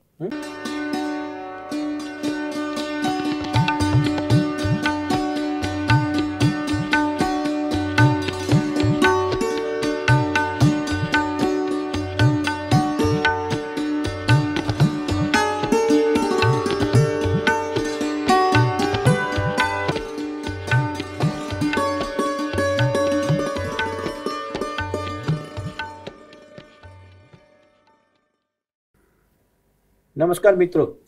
આપણે ગુણવંતભાઈ સાથે બહુ અંતરંગ વાતો કરી રહ્યા છીએ અને એમના જીવનયાત્રામાં હવે આપણે આગળ વધીએ. ગુણવંતભાઈ આપની પાસેથી એવું મને અત્યાર સુધીમાં ફલિત થયું કે બાએ અને બાપુજીએ. પોતપોતાની મૌલિકતા જાળવીને જે કાંઈ તમારી સમક્ષ પીરસ્યું એમાંથી પણ ગુણવંત શાહનું ઘડતર થયું. બિલકુલ. તમે બહુ સુંદર રીતે કીધું કે એક કબાટ નવજીવનનો અને બીજો કબાટ ગીતા પ્રેસ ગોરખપુરનો અને બે માર્ગ ઉપર ચાલવાનું થયું. એ પણ તમે ઘણીવાર કહો છો કે ભાઈ મંત્રો બોલવાની વાત કે એ વાત છે એ પિતાશ્રી દ્વારા આપણને પ્રત્યક્ષ નહીં તો પરોક્ષ પણ પ્રાપ્ત થઈ. અને કેમેસ્ટ્રી કે ફિઝિક્સ કે બધા કોઈ ચોઈસના વિષય નહોતા છતાં બીએસસી કરીને છેલ્લે બીએડમાં એમ થયું કે હવે આપણે આમાં સ્થિર થયા છીએ. મને એ જાણવામાં રસ છે કે બીએડ થયા પછી આપણે શિક્ષક તરીકે પણ કામ કર્યું છે. તો એ શિક્ષકમાંથી પ્રોફેસર સુધીની આખી યાત્રા. થોડું લાંબુ છે હું ટૂંકમાં કહું. કે બીએડ થયો તો I was first class second in university M MS યુનિવર્સિટીમાં. પ્રથમ વર્ગ અને બીજો નંબર આખી યુનિવર્સિટીમાં એમ એડ થયો તો I was first class first in university. પણ તેનથી ફેર નહીં પડ્યો. I felt within. મને અંદરથી લાગ્યું કે હું શિક્ષક થવા માટે જ સર્જાયો છું. આ આ મને બરોડામાં થયું. અને મને થયું કે જે થવા માટે હું સર્જાયો હું તેમાં જ મારે પાણી જોડવું જોઈએ નકમ બાર. એટલે હું શિક્ષણની શિક્ષણના માર્ગે ચડી ગયો અને એ પ્રતિતિ દરરોજ થતી ગઈ કે I am on the road where I belong to okay આ જ રોડ પર હું છું ને આ રોડ પર જ મારે આગળ વધવાનું છે. અને પીએચડી થયો તો બીજા બે વર્ષમાં. અચ્છા. એટલે બીએડ એક વર્ષ એમએડ બે વર્ષ અને પીએચડી બીજા બે વર્ષ. એટલે record time I was the youngest PhD અચ્છા. હમ. In the whole faculty hmm. In the whole university rather એટલો યંગ અને બે વર્ષમાં યુનિવર્સિટીનું પીએચડી પતાવીને ફેંકી દીધું એમ કહું તો ચાલે. એટલો બધું મેં જલ્દી કામ કર્યું. સીએલ લઈને ચેપ્ટર લખતો. અચ્છા. સીએલ લઈને ચેપ્ટર લખતો. આઈ વોઝ રિસર્ચ ફેલો તો ચેપ્ટર લખતો. પણ બીએડ થયા પહેલા શાળામાં શિક્ષક તરીકે તમે હતા? હા. એ રાંદેરમાં? આરાંદેરમાં લોકમાન્ય વિદ્યાલય. અચ્છા. અને બીએડ પછી? બીએડ પછી એમએડ કર્યું. એમએડ કર્યું તે દરમિયાન રિસર્ચ ફેલો હતો હું. મધુભાઈ બુચના હાથને અચ્છા એમબી પૂછા ધેર ધેર આફ્ટર હું લેક્ચરર બન્યો ટ્યુટર બન્યો. લેક્ચર જુનિયર લેક્ચરર બન્યો લેક્ચરર બન્યો. એમએસ યુનિવર્સિટીમાં બિલકુલ. કોઈ પ્રયત્ન કરવો નથી પડ્યો. પોસ્ટ આવી ગઈ. અને મને ફાવી ગઈ. અચ્છા. એટલે ગુણવંતભાઈ બરોડામાં જ એમએસ યુનિવર્સિટીમાં જ ટ્યુટર અને લેક્ચરર તરીકે કેટલા વર્ષો વડોદરામાં? બાર વર્ષ. બાર વર્ષ. એટલે એ વખતે રીડરશીપ અત્યારે રીડર તરીકે? હું રીડર તરીકે આવ્યો તે પહેલાં અમેરિકા ગયો. I was invited by university of Michigan. University of મિશિગનમાં મને વિઝિટિંગ પ્રોફેસરશીપ મળી. Because there was an exchange program between MS university and Michigan, Michigan University. એમાં મારો નંબર લાગ્યો. અચ્છા. અચ્છા. એટલે રીડર હતા એ સમયે? રીડર નહોતો. અચ્છા. લેક્ચરર હતો. લેક્ચરરની ને પણ એમાં મોકલ્યા? મોકલ્યા મોકલ્યા. અત્યારે તો હવે પ્રોફેસર ના ના. મોકલ્યા મને. લેક્ચર તરીકે સિલેક્ટ કર્યો મને. અને મિશિગન યુનિવર્સિટીમાં એ પહેલો એકેડેમિક પહેલો પ્રવાસ. પહેલો જમ્પ ના તે પહેલાં બ્રિટિશ કાઉન્સિલના આમંત્રણથી હું લંડન ગયેલો બ્રિસ્ટલ ગયેલો બર્મિંગહામ ગયેલો અને એડિનબરો ગયેલો. અચ્છા. મને એ લાભ બહુ મળ્યો છે. ગેબી લાભ. ત્રણ મહિના અમેરિકા રહ્યો. અરે બ્રિટન રહ્યો. તેમાં બ્રિસ્ટલ વધારે રહ્યો બર્મિંગહામ રહ્યો લંડન રહ્યો. લંડનમાં તે ઇન્ટેલિજન્સમાં ફિલિપ્સ. તો તેને મળેલો હું અચ્છા. હમ. મળવાનો લાભ બહુ મળ્યો બર્ટન રસેલને મળ્યો. હવે બ્રિટિશ લંડન તો ઘણા ગયા ઇંગ્લેન્ડ ઘણા ગયા પણ બર્ટન રસેલને કોણ મળ્યું? કોણ મળે? તો મેં પહેલે જ દિવસે બ્રિટિશ કાઉન્સિલને વિનંતી કરી કે ગમે ત્યારે બે અઢી મહિના છું તમે રસેલ સાથે જો એપોઇન્ટમેન્ટ ગોઠવી આપો તો મને આનંદ થશે. જે લીડર લેલ નામનો માણસ હતો એણે ગોઠવી આપ્યું. અચ્છા. હમ. એને એક એવી ટેવ હતી બે ફોન બે કાને લગાડે આમ વાત કરે ને તેમ વાત કરે? તો હું તો છક્કડ ખાઈ ગયો સર આ માણસ કેટલો એફિશિયન્ટ બે ફોન પર કામ લે છે. અચ્છા. એનું નામ લીડર લેલ બર્મિંગહામમાં હતો. ત્યાંથી જ હું રસેલને મળવા ગયેલો. રસેલને મળ્યા ત્યારેનો અનુભવ? મારો અનુભવ બહુ સારો નહીં કારણ કે હું મૂળ મહાવીર સ્વામીને સાઈન મેં મારી વાતચીતની શરૂઆત જ મહાવીર સ્વામીથી થઈ. અચ્છા. મેં you you may may heard the the name of scientist called scientist of non violence એની મહાવીર સાહેબનું મારું વિશેષણ સાયન્ટિસ્ટ ઓફ નોન વાયલન્સ એનું નામ તો સાંભળ્યું બિલકુલ નહીં સાંભળેલું એને બુદ્ધનું સાંભળેલું પણ મહાવીર સ્વામીનું સાંભળેલું જ નહીં જે લોકો બહાર જતા નહીં ને બધું બધું એ બધામાં ગ્લોબલ કક્ષાએ જેનિઝમનું તો કાલે સમાચાર સારા આવ્યા તે મને બહુ ગમ્યું બાકી એ લોકોની થોડીક રિજિડિટીના કારણે આ લોકો પરદેશમાં વિચાર તરીકે પણ પ્રસ્યાવો છે. નોન વાયલન્સમાં એ લોકો કોરોના બુદ્ધનું બધું જાણે. પણ મહાવીર સ્વામીની નોન વાયલન્સ કેટલી સૂક્ષ્મ હતી તે નહીં જાણે. અને પછીથી બાર વર્ષ બરોડા રોકાયા. ના. આઈ કેમ બેક અને within two three years બોતેરમાં I was selected as a professor and head of the department in Madras technical teachers training institute એટલે પોલિટેકનિકના બધા જે પ્રાધ્યાપકો છે ને તેનું બીએડ ઓકે તેનું ઇન્સ્ટિટ્યૂટ આ તે સેન્ટ્રલ ગવર્મેન્ટનું સાહેબ કે મેં government servant. In Madras as a professor. અને આખા સાઉથ ઇન્ડિયામાં હું એકલો હું જ પ્રોફેસર બોતેરથી ક્યાં સુધી? બોતેરથી તોતેર સુધી. અચ્છા. એક વર્ષમાં ગયો. મને બહુ આમ પારખું લાગ્યું. અચ્છા. કુટુંબને ગમે નહીં બધા તમિલિયનો અને માણસો બહુ સારા મને બહુ માન આપતા. મારે તો પરદેશ જવાનું ત્યાંથી પણ થતું હતું. જવાનું તો ક્યાં તમને કહું? એ શહેરનું નામ ભૂલી ગયો. તે પોલિટિક્સ માટે બહુ જાણીતું દુનિયામાં જાણીતું. ત્યાં I was deputed as a professor I couldn't accept મેં જાણીને નહીં સ્વીકાર્યું કારણ કે ત્રણ વર્ષનું બાઇન્ડિંગ આવતું હતું. મારે ચાર વર્ષ મદ્રાસમાં ગાળવાનું હતા મને એટલું એલિયનેશન લાગતું હતું. બધા લોકો formal yes sir no sir yes sir yes sir sir yes sir એવું ચાલે. અચ્છા. હમ, કે મજા નહીં. અને ગુજરાતી છૂટી ગયું. નૂતન શિક્ષણમાં તંત્રી હતો. તે પણ છૂટી ગયું. એ ત્યાંથી કરતો હતો હું તો મજા નહોતી આવતી. So I came back to Bombay Bombay. બોમ્બેમાં? બોમ્બેમાં એક વર્ષ કામ કર્યું બરાબર. અચ્છા. અને મને સાઉથ ગુજરાત યુનિવર્સિટીમાં બધા મળી ગયું. પછી સાઉથ ગુજરાત યુનિવર્સિટીમાં there I retired yes self સ્વૈચ્છિક નિવૃત્તિ. એ તને ખબર પચાસ વર્ષ. બધી ખબર હા.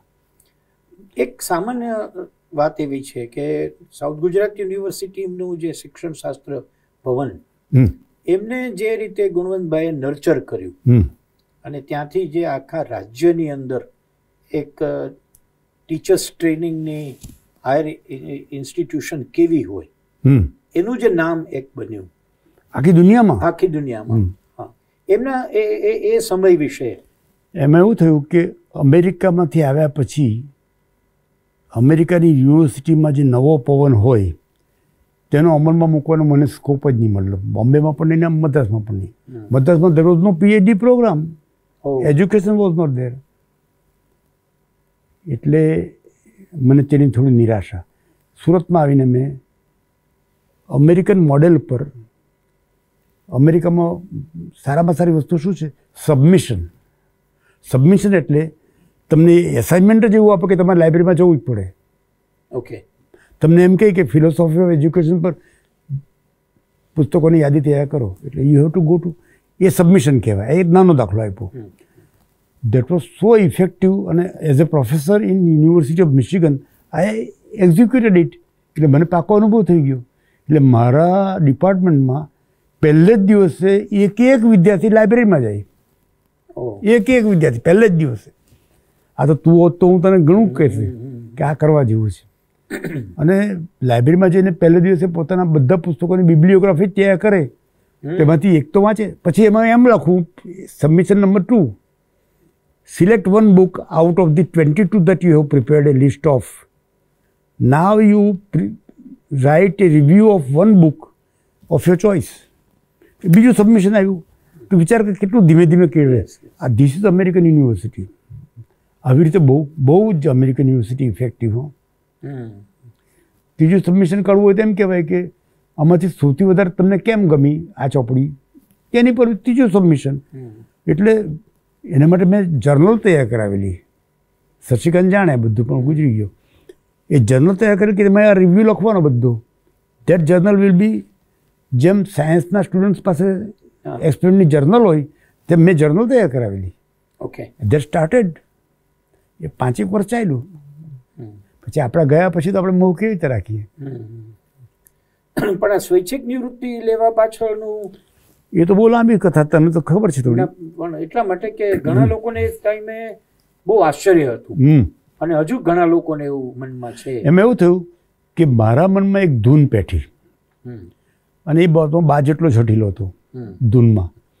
તે કે નોકરીને આખા જીવનના આટલા કિંમતી વર્ષો આપી દેવા બરાબર નથી. એટલે મેં I decided age of twenty five that I would not be a slave after fifty fifty પછી હું મુક્ત માણસ હોઈશ. એવો દોલતભાઈને ખબર. દોલતભાઈ દેસાઈને કે હું પચાસ વર્ષ પછી નોકરી નહીં કરું. જે કરવું હોય તે કરીશ. અને ભૂખે નથી મરવાનું. તેની ખાતરી મને કોલમે આપી.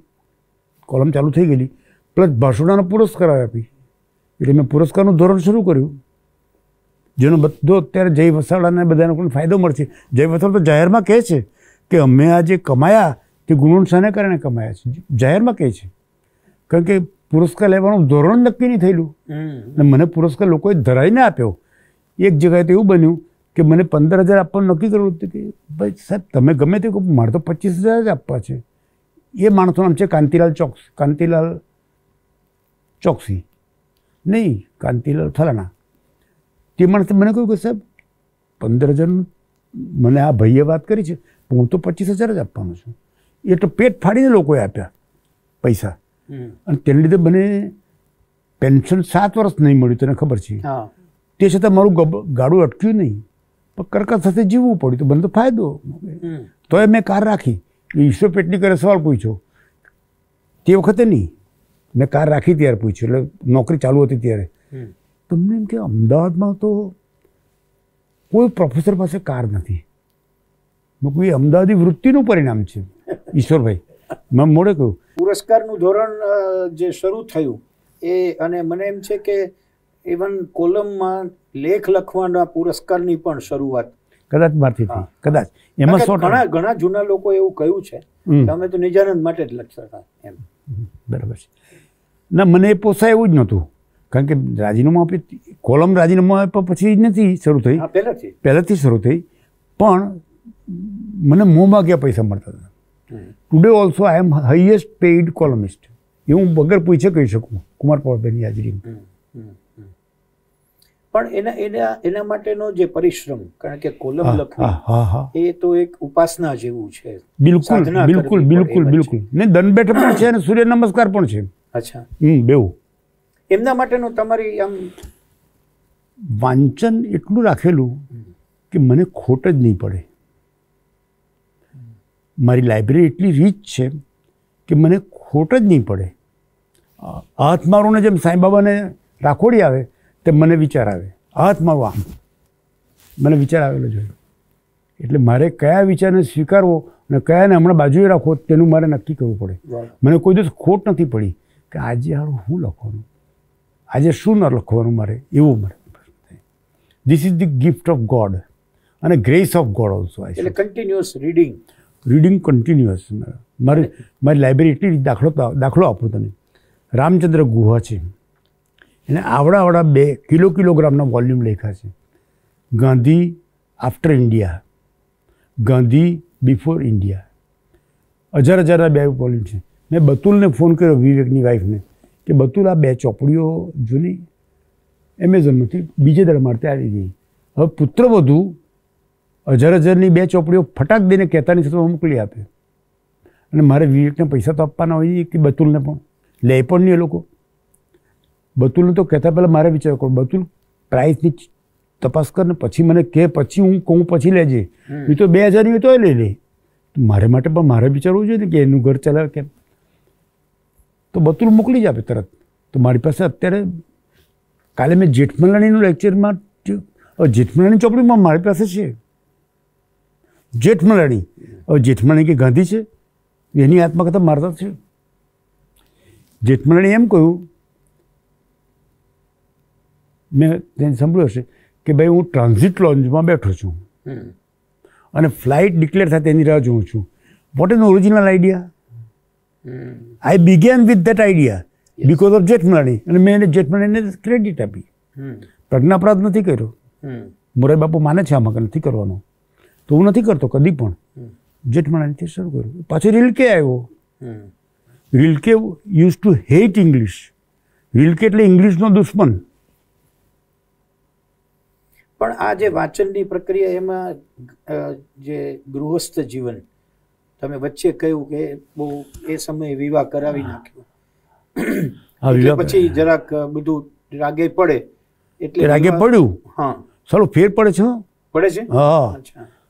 કોઈ ઠેકાણે નહીં આવતો ને છોકરો વિવાહ કરી નાખો ને ડેટિંગ કરતો થઈ જાય ને તો ઘણો ઠરી જાય છે ઠરી જાય છે. મારી બાને બહુ સલાહ મળતી કે આ ગુણવંત તમારો તોફાની બારકસ છે ને એનું લગ્ન કરાવી નાખો. તે વખતે વિવાહ પણ નહીં લગ્ન કરાવી નાખો. બધી રીતે ઠેકાણા પડી જશે. That happened arrange marriage arrange marriage બિલકુલ એરેન્જ અને બાએ કયા? બાએ કહ્યા તે જ પ્રમાણે. એમાં બાનું માયનું મેં. એમ. હમ. અને એ એમાં કઈ હજી એવું લાગ્યું હજુ લાગ્યું નથી બિલકુલ નહીં બિલકુલ નહીં. એકચ્યુઅલી સ્પીકિંગ હું તને કહું Kumar Prabhai will understand it better કારણ કે એમના કાગળો વાઇફના લખેલા આવતા હતા અક્ષર સારા તેનું. તો તને કહું કે અવંતિકાએ જે પૂરક કોમ્પ્લિમેન્ટારિટીની જે આપણે વાત કરીએ ને અંગ્રેજીમાં કોમ્પ્લિમેન્ટારિટી અન્યોન્ય પૂરકતા તેનું બેસ્ટ એક્ઝામ્પલ અવંતિકા જેવું કોઈ સાહિત્યકારને મળ્યું નહીં કદાચ. અચ્છા. હા. મારું ફોકસ મારી કામ પર જ રહે. બાકીનું ફોકસ જ નહીં મારી પર. એટલે હું અભણ માણસની જેમ વર્તું કોઈ વાર તો બાળકની માફક વર્તું. કે આમ નહીં તેમ. અને ઘણા વહીવટ પણ તમારા વતી એ સંભાળે. જે જે કામ મને નહીં ગમે મને ઇન્કમ ટેક્સ નામ આવે એટલે મારું મન ત્યાં ચોકડી જ મારી દે. મારા મનની સ્થિતિ એવી થઈ ગઈ ઇન્કમ ટેક્સ એટલે હું છે ને ઉઠીને ચાલવા માંડું. બેસું જ નહીં તે જગ્યાએ ચર્ચા આવે તો. પછી એમ કે કે આપણે જમીન વેચવાની છે. એટલે હું ત્યાંથી ઉઠીને ચાલવા માંડું. નામ પર ફલાણું કરાવવાનું છે. ચાલવા માંડું. ઘર બાંધવાનું છે તેનું આમ કેમ કરવાનું. તો વિવેકને બધા કીધી કે ભાઈ તમે જાઓ. એ લોકો મારા ગયા પછી જ આ વાત કરે. અચ્છા. હા. એ લોકો રાતના બે વાગ્યા સુધી બેસવાના હોય તો મને અગિયાર વાગે એમ કે ભાઈ હવે ઊંઘવાનો ટાઈમ થયો તમારો. એટલા માટે કે હવે અમે તમે એવી વાત કરવાના છીએ કે તમને નહીં ગમે. તમને બોર કરવા એના કરતાં તમે જાઓ. પણ પછી તમે સ્વીકારો ખરા? હું તરત જ ચાલ્યો જાઉં. પછી એ લોકો જે નિર્ણય કરે સ્વીકારો. એમ પૂરો વિશ્વાસ. અને એમાં Avantika can never be wrong અચ્છા. હમ. મને ફાવતું આવ્યું. મારી આળસ પણ મને ફાવતી આવી.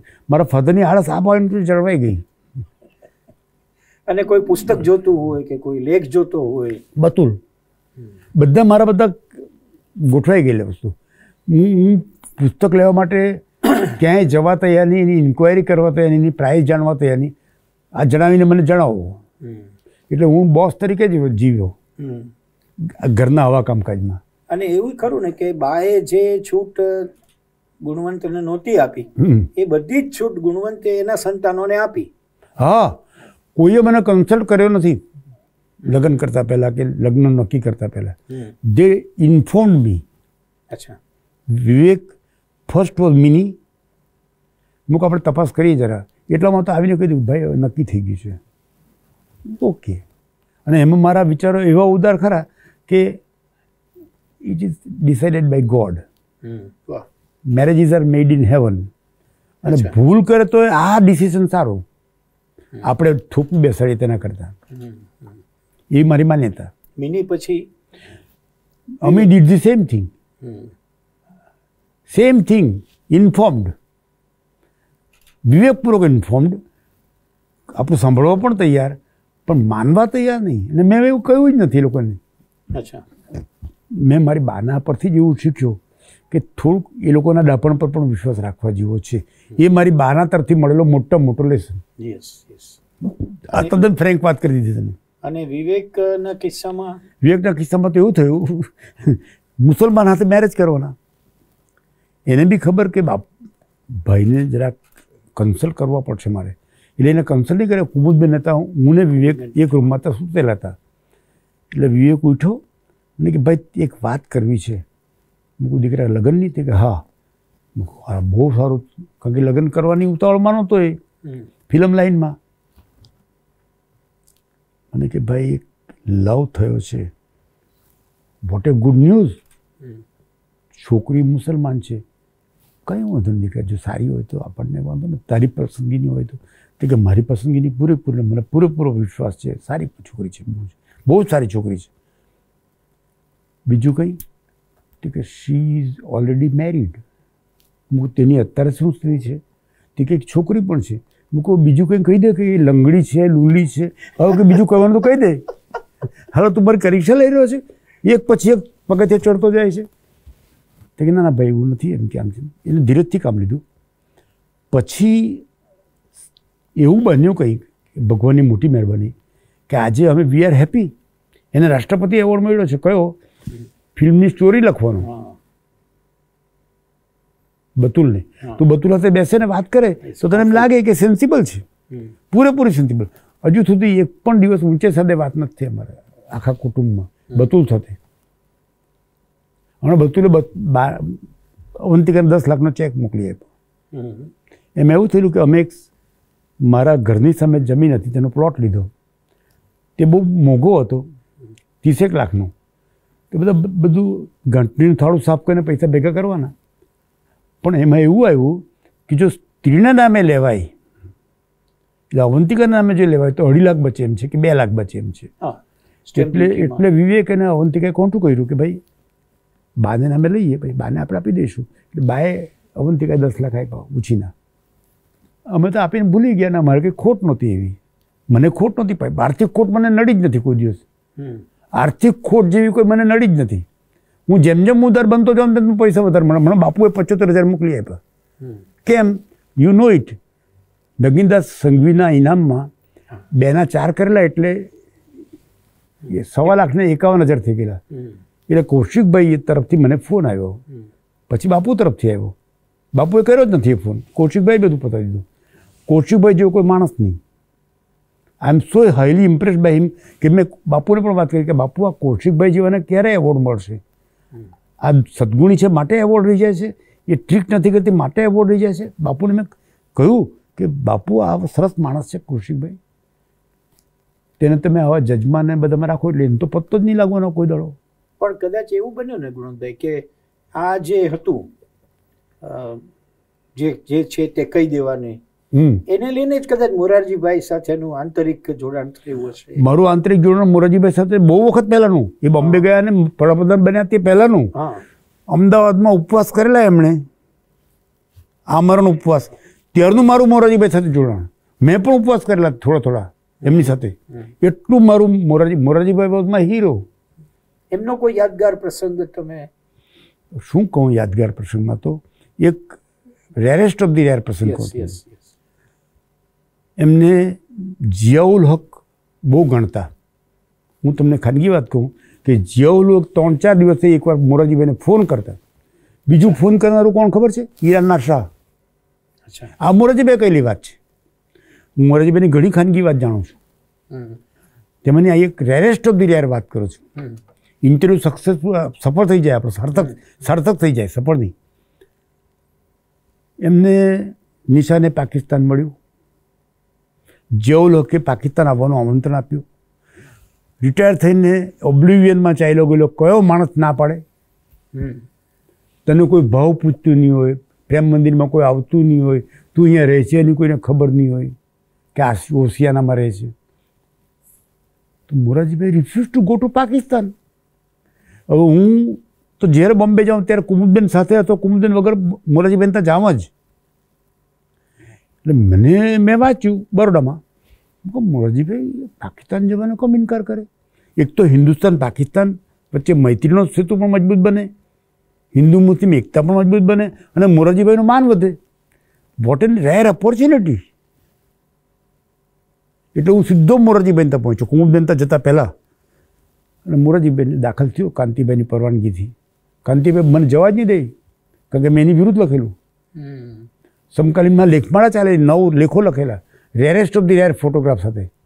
મોરારજીભાઈના. તો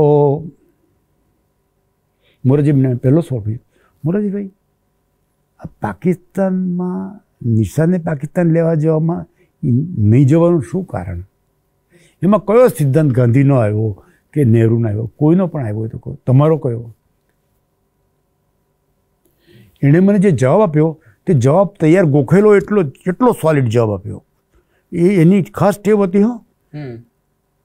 મેં સરદાર વિશે એકવાર સવાલ પૂછ્યો કે સરદાર નહીં બન્યા કે બન્યા તેમાં પહેલાં વડાપ્રધાન ન બન્યા તેમાં તમે શું માનો છો? કે જે થયું તે સારું થયું. એના ત્રણ કારણો છે. માસ્તરની જેમ. એના ત્રણ કારણો છે. મોરારજી બહુ સોલિડ મેન હા. એની આપણે કદર નથી કરી. સરદાર તો અન્યાય કર્યો છે પણ મોરારજીભાઈને પણ વધારે અન્યાય કર્યો છે. અને સરદાર સાથે બનતું નહોતું એમને. Because he was not a practical man Morarji was the most impractical man I have ever seen my life હવે થયું એવું કે મોરારજીભાઈ એના ત્રણ કારણો છે. પાકિસ્તાનમાં નહીં જવાના. એક તો એ કે હું જો જાઉં, તો એ લોકો મારા વડાપ્રધાન વિરુદ્ધ મોંમાં આંગળા ગાલીને મારી પાસે પત્રકારો બોલાવડાવે. I am not ready to criticise my prime minister in foreign land ઓહો આ મોરારજી. બીજું કારણ એ કે ગમે તે કારણ હોય પણ મને પૂછે તો જૂઠું તો બોલાય જ નહીં મારથી કે ના ઇન્દિરાબેન સારા છે. એવું પણ કેવી રીતે કે હું સારા નથી? એમ જ મારથી તો બોલાઈ જાય ને. એટલે મારા વડાપ્રધાન ટીકા થઈ જાય. જૂઠું નથી બોલવું વડાપ્રધાન ટીકા નથી કરવી. Then why should I go જવાબ તૈયાર. હું તો બહુ માન પામ્યો બહુ માન પામ્યો. અને આ પ્રસંગ તદ્દન સાચો છે. એના સાક્ષી પણ છે. સૂર્યકુમાર ગુપ્તા કે જે કંઈ નામ હતી કયો માણસ ઓબ્લિવિનમાં ચાલ્યા ગયા પછી શૂન્યાવકાશમાં સરી ગયા પછી આ તક છોડે? હું ને તું નહીં છોડીએ. તો વિચાર કર કે મોરારજીભાઈ આ ના કહી શકે એટલે શું? અને જીયો તો એને મોટા મોરારજીભાઈ કે ઉંમરનો ફાયદો બહુ થયો મને એમ કે શાહ પણ મને સલાહ માગતા મારી જીયાએ મારી સલાહ માગી છે. જીયા મારી સલાહ માગતા કે બડે ભાઈ બડે ભાઈ કહે મને કેમ ક્યાં કરના ચાહીએ? તને ખાનગી વાત કહું? ભૂટોને ફાંસી થઈ ત્યારે મોરારજીભાઈએ જીયાની વિરુદ્ધ એક વાક્ય પણ ઉચ્ચાર્યું નથી. અચ્છા. એક વાક્યની નહીં ભૂટોના બચાવમાં. કારણ કે જીયાને મોરારજીભાઈના સંબંધો સારા અને બીજી વાત એ કે ઇન્ટરનેશનલ અફેર્સમાં માથું માથું નહીં જોઈએ. પાકિસ્તાનની વાતમાં ઇન્ટરનલ અફેર્સ છે પાકિસ્તાનના ના ઇન્ટરનલ ઇન્ટરનલ એટલે ચોખ્ખી વાત. તો એ સિદ્ધાંત આવ્યો. તો ભૂટોને મોરારજીભાઈની જરાય મદદ નહીં મળી. બે કડક શબ્દો બોલ્યા હોત તો દહદડાઓ બચી ગયો હોત બિચારો. બોલ્યા જ નહીં. ગુણવંતભાઈ તમારે જે કોલમની કન્સિસ્ટન્સી અખબાર બદલ્યું હોય પણ the way in which you present your views a consistency જે જળવાય એના પાછળનું વાંચન તો જવાબદાર પણ પછીનું એનું ચિંતન મનન એવા જે આપણે સ્ટેપ ઉપર એને કોઈ આમ એક્સરસાઇઝ ખરી અથવા તો એનું. તમારું ક્રમ શું? હું તમને કહું કે મારે મન કોલમ રાઇટિંગ ઇઝ નોટ સૂર્ય દંડ બેઠક ઇટ ઇઝ સૂર્ય નમસ્કાર. ઓકે હું એને બહુ પવિત્ર ભાવનાથી લઉં છું. આખરે માસ્તર એટલે લોક કેળવણી ભાવના ખરી. હું આઈ ડોન્ટ ટેક લિબર્ટી અને બીજી એ કે પર્સનલ રિવેન્જ ઉપર નહીં ચડવું અને પર્સનલ ફેવર મળે એવું કંઈ કરવું નહીં. હું નરેન્દ્ર મોદીની વધારે ફેવર લઈ શકું, પણ તને યાદ તો કેટલા વખતથી મેં કંઈ લખ્યું જ નથી એમના તરફેણમાં તો નહીં જ. તો એવા જે વેસ્ટેડ ઇન્ટરેસ્ટ છે એ ઇન્ટરેસ્ટ પર મારો સખત કાબુ, સંયમ. આમાં મારે નથી પડવું. આમાં ફાયદો થતો હોય તો મારે જોઈતો નથી. આ મારું ધ્રુવ વાક્ય. આમાં ફાયદો થતો હોય તો મારે જોઈતો નથી. આ બાબતમાં મારે કે મહાત્માગીરીની દાવો નથી કરવો, પણ એક જેન્ટલમેનનો દાવો ખરો. સામાન્ય માણસ છું, પણ I am a gentleman I am an ordinary man but I am a gentle હું સીધી લીટીનો માણસ છું. એ આત્મસગા લાગે તો કોઈને લાગે બાકી? મને નથી લાગતું. અત્યારે લખવાનો ક્રમ વાંચનનો ક્રમ એ કેવી રીતે ગોઠવાયેલો? કારણ કે હવે યુ આર એટી ફાઈવ. હવે કોઈક વાર થાય છે એવું કે વાંચવાનો પણ કંટાળો આવે છે ક્યારેક. એમ. એટલે કોઈક વાર લેખ લખવાનો ટાઈમ થઈ જાય તોય મારો લેખ તૈયાર ન હોય. પહેલાં એવું નહોતું બનતું.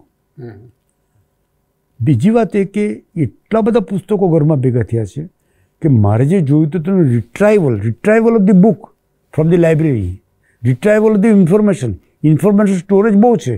પણ રિટ્રાઈવલ એને માટે અવંતિકાની મદદ જોઈએ. અવંતિકા ઘણી ખરું મદદ કરે છે મને. પેલી ચોપડી આપણે તો હતી મળે અવંતિકા. એટલે એને ખ્યાલ આવી જાય કે આ ડોહો પાછો. આ સુરતની સ્ટાઇલ છે. એટલે એને એમ લાગે કે અત્યારે પૂછડી પટપટ આવે છે આ. પણ કોણ જાણે કેમ ઊંઘી જાઉં.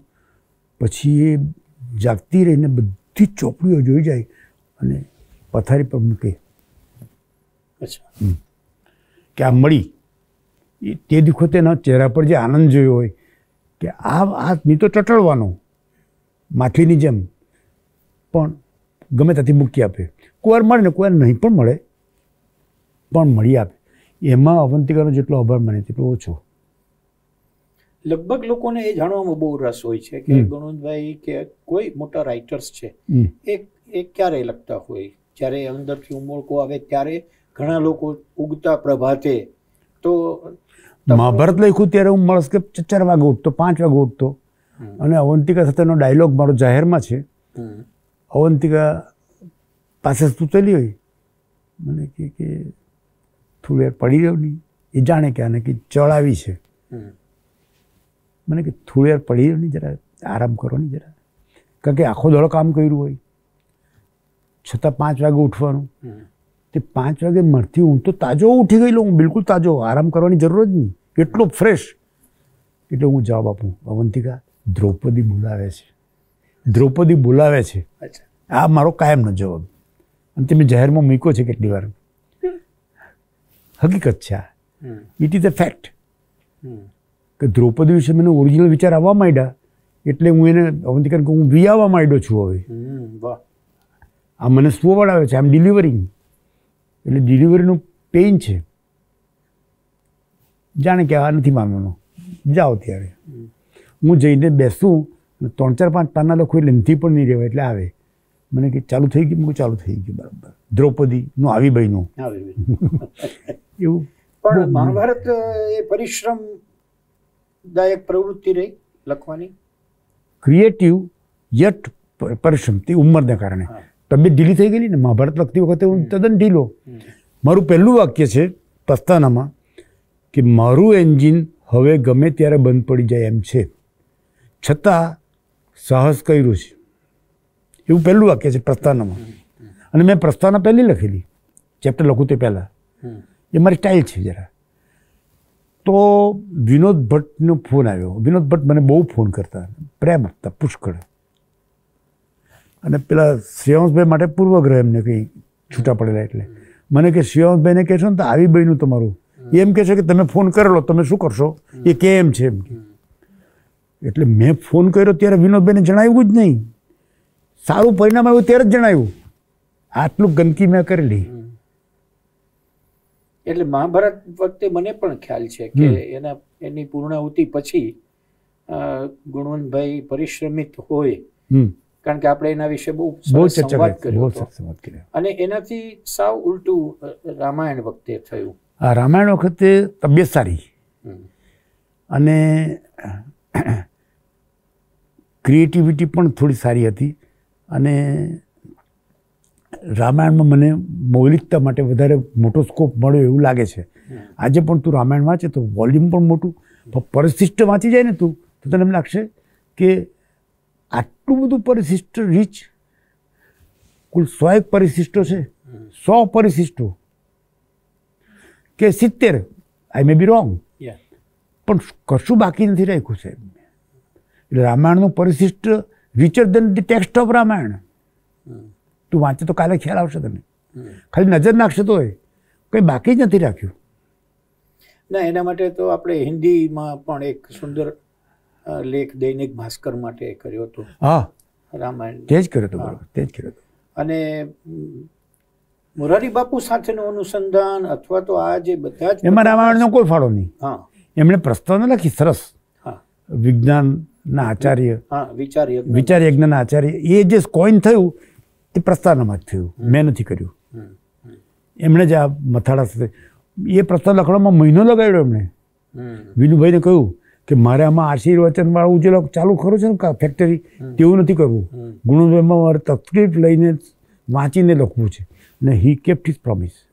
એ બાબત મોરારી બાપુ છે ને એક ઇન્ટેલેક્ચ્યુઅલ સાધુ કહેવાય. બાકી સાધુઓ ઇન્ટેલેક્ચ્યુઅલ હોય એવું માનવાની જરૂર નહીં બહુ. તેમાં આપણા સાધુઓ તો નહીં જ. જે ગાગરડી પેટવાળા છે સાતમો મહિનો જતો હોય તેવા જ લાગે કાયમ. તને એક વસ્તુની મેં મેં નોંધ કરી મેં મને હમણાં વાલ્મીકી એવોર્ડ મળ્યો ને તું ગયેલો નહીં. પણ આઈ વોઝ વીડિયો દ્વારા બધા સાધુઓ બોલે તે થન થનાવીને બોલે બધી ધર્મસભામાં બોલતા હતા તેવું જ બોલે. બાપુની હાજરીમાં એટલું સાચવી જતા હતા. પણ એક ગાંડાએ ગાંધીને યાદ નથી કર્યું. એ બાપુનું મેં કહ્યું કહેવાનો છું? કહ્યું નથી હજી? કે બાપુ, આ બાવાઓ જે હતા તમારા, ભગવાધારી, એસા હો જાય, તેસા હો જાય, રામજી કા એસા હુઆ, તૈસા હુઆ. પણ એક જગ્યાએ ગાંધી અડફટમાં જ નહીં આવ્યા. અડફેટમાં પણ નહીં આવ્યા. કંઈક તો કરો યાર. આવા. મગજના ખોપરીના ખાલી ખોપરીના ખાલી તમને કહું આવા. પણ આ- તમે જે અત્યારે વાત કરો હું આઈ ડોન્ટ રિસ્પેક્ટ સચ સાધુ નો હા. અત્યારે તમે જે વાત કરો છો જે વિશેષણો વાપરીને એને કારણે ગુણવંતભાઈ લખે કે ક્યાંય પ્રવચન કરે તો એના પછી એના વિશદ તરંગો બહુ ચાલતા બહુ ચાલતા હોય છે. બહુ સાચી. વાત છે. તો એના વિશે કાંઈ ચિંતા થાય કે હવે ચિંતા થવા માંડી છે. હવે દિવ્ય ભાસ્કર બગડ્યું છે. મેનેજિંગ ડિરેક્ટર છે પેલા ભટનાગર. તે દરેક વખતે કંઈ ને કંઈ એવું કરે છે. Any time you may hear that I have discontinued okay any time એનું કારણ કે તમારી કલમ ઉપરનું જે સ્વાતંત્ર્ય છે એ મારું કલમનું ચારિત્ર છે. It is the character of my pen અને તેમાં વચ્ચે વચ્ચે એમ કે લોકોને આમાં ગેરસમજ થશે એવું મને વારંવાર હવે થવા માંડ્યું છે. હવે how long I will continue with the compromise which is dirty for me ના પણ આમ તમારાથી જે વાત થઈ જાય છે એ સહજ જ થઈ જાય છે. બિલકુલ, બિલકુલ. પ્લાન્ડ એવું જ લખવાનું. હા. એ જ કેરેક્ટર લખવામાં. એટલે કલમનું ચારિત્ર હું જાળવું છું. હવે એ જાળવવામાં મને ચિંતા થાય કે હું હા લખું છું ને તે લોકો કહેશે કે સાહેબ આટલી બે લીટી કાઢી આપો નહીં કાલાવાલા કરે. હું કાઢી આપું છું કોઈક વાર પણ મારથી લાંબુ ખેંચાય એમ નથી એમાં. એ લીટી કાઢવાવાળું મને નહીં પાલવે. નહીં પાલવે. તમારી કલ્પનામાં એવું ખરું કે ગુણવંતભાઈ કોલમ ન લખતા હોય એવી કલ્પના ખરી? આ ખરી પાકી. એમ. ઓ. બોલે છેલ્લે દિવસ સુધી લખવું ના ના ના ના એ તો એ તો તમસ તમો ગુણ છે એ તો. અચ્છા. એ તમો ગુણ છે સાહેબ. છેલ્લે દિવસ સુધી લખવું એ. એમાં કોઈ કર્મઠતા કે કર્મનિષ્ઠા નથી. આસક્તિ આસક્તિ છે મોહ છે. એમાં હું પડવા માંગતો નથી. કાલે બંધ કરું કાલે ફટક દઈને. આમ હું હું હું તૈયાર થઈને જ બેઠો છું કે ક્યારે કપડું કાઢવું ક્યારે ફગાવી દઉં.